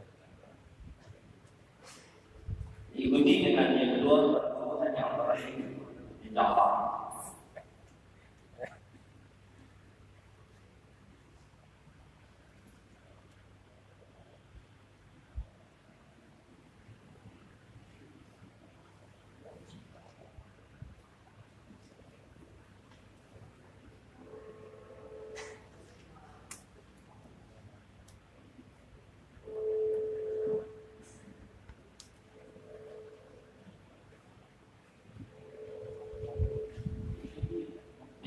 Jafar. Diikuti yang ketiga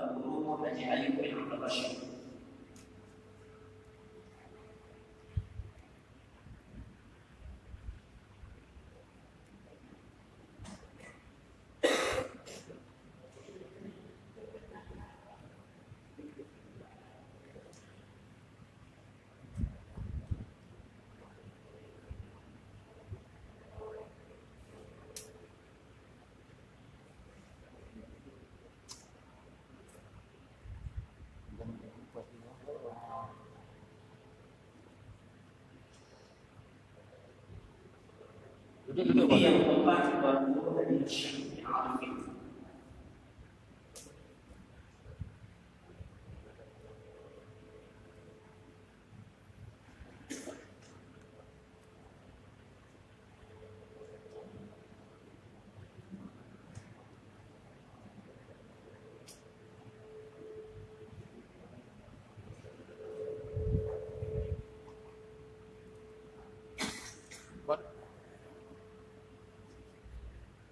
Diikuti yang kelima Ustaz Haji Basali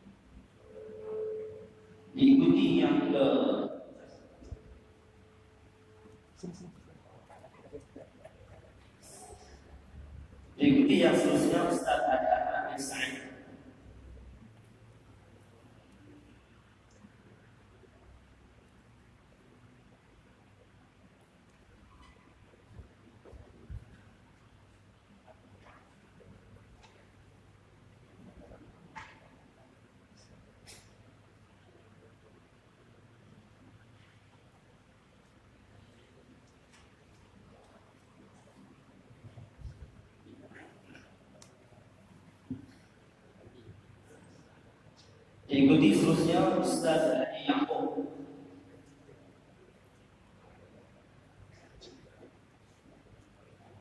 Ustaz Haji Yaakob bin Haji Rodi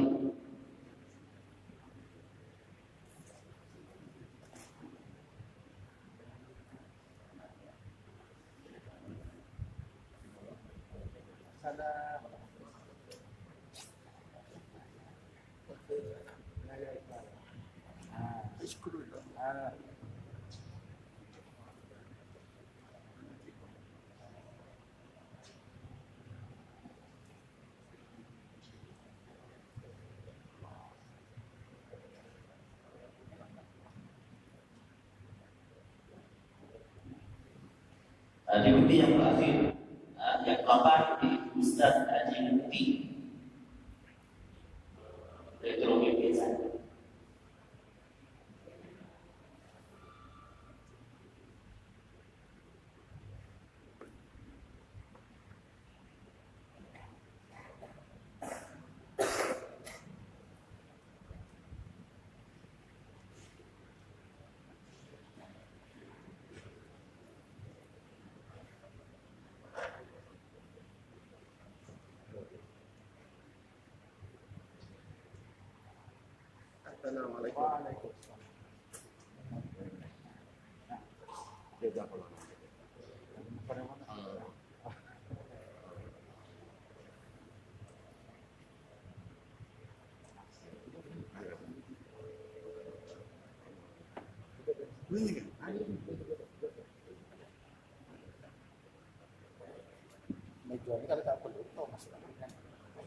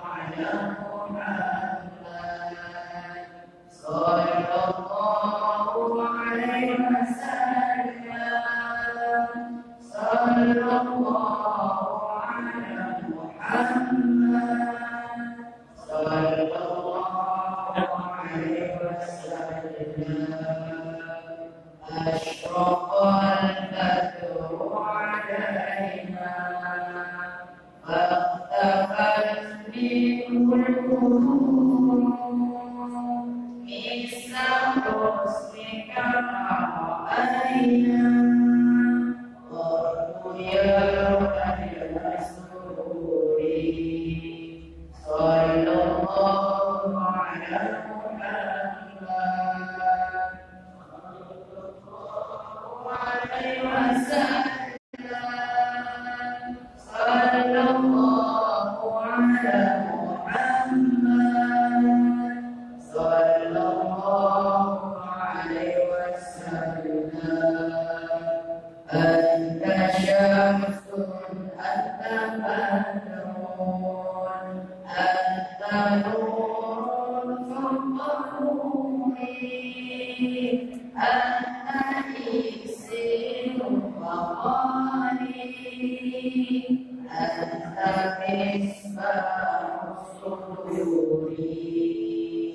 صلى الله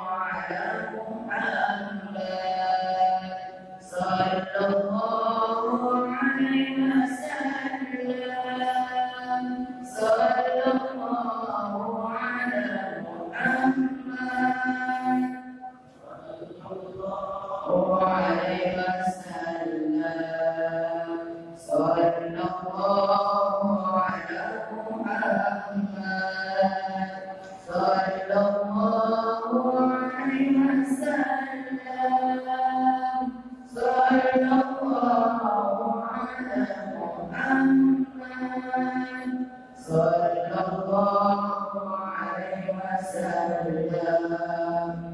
Ya.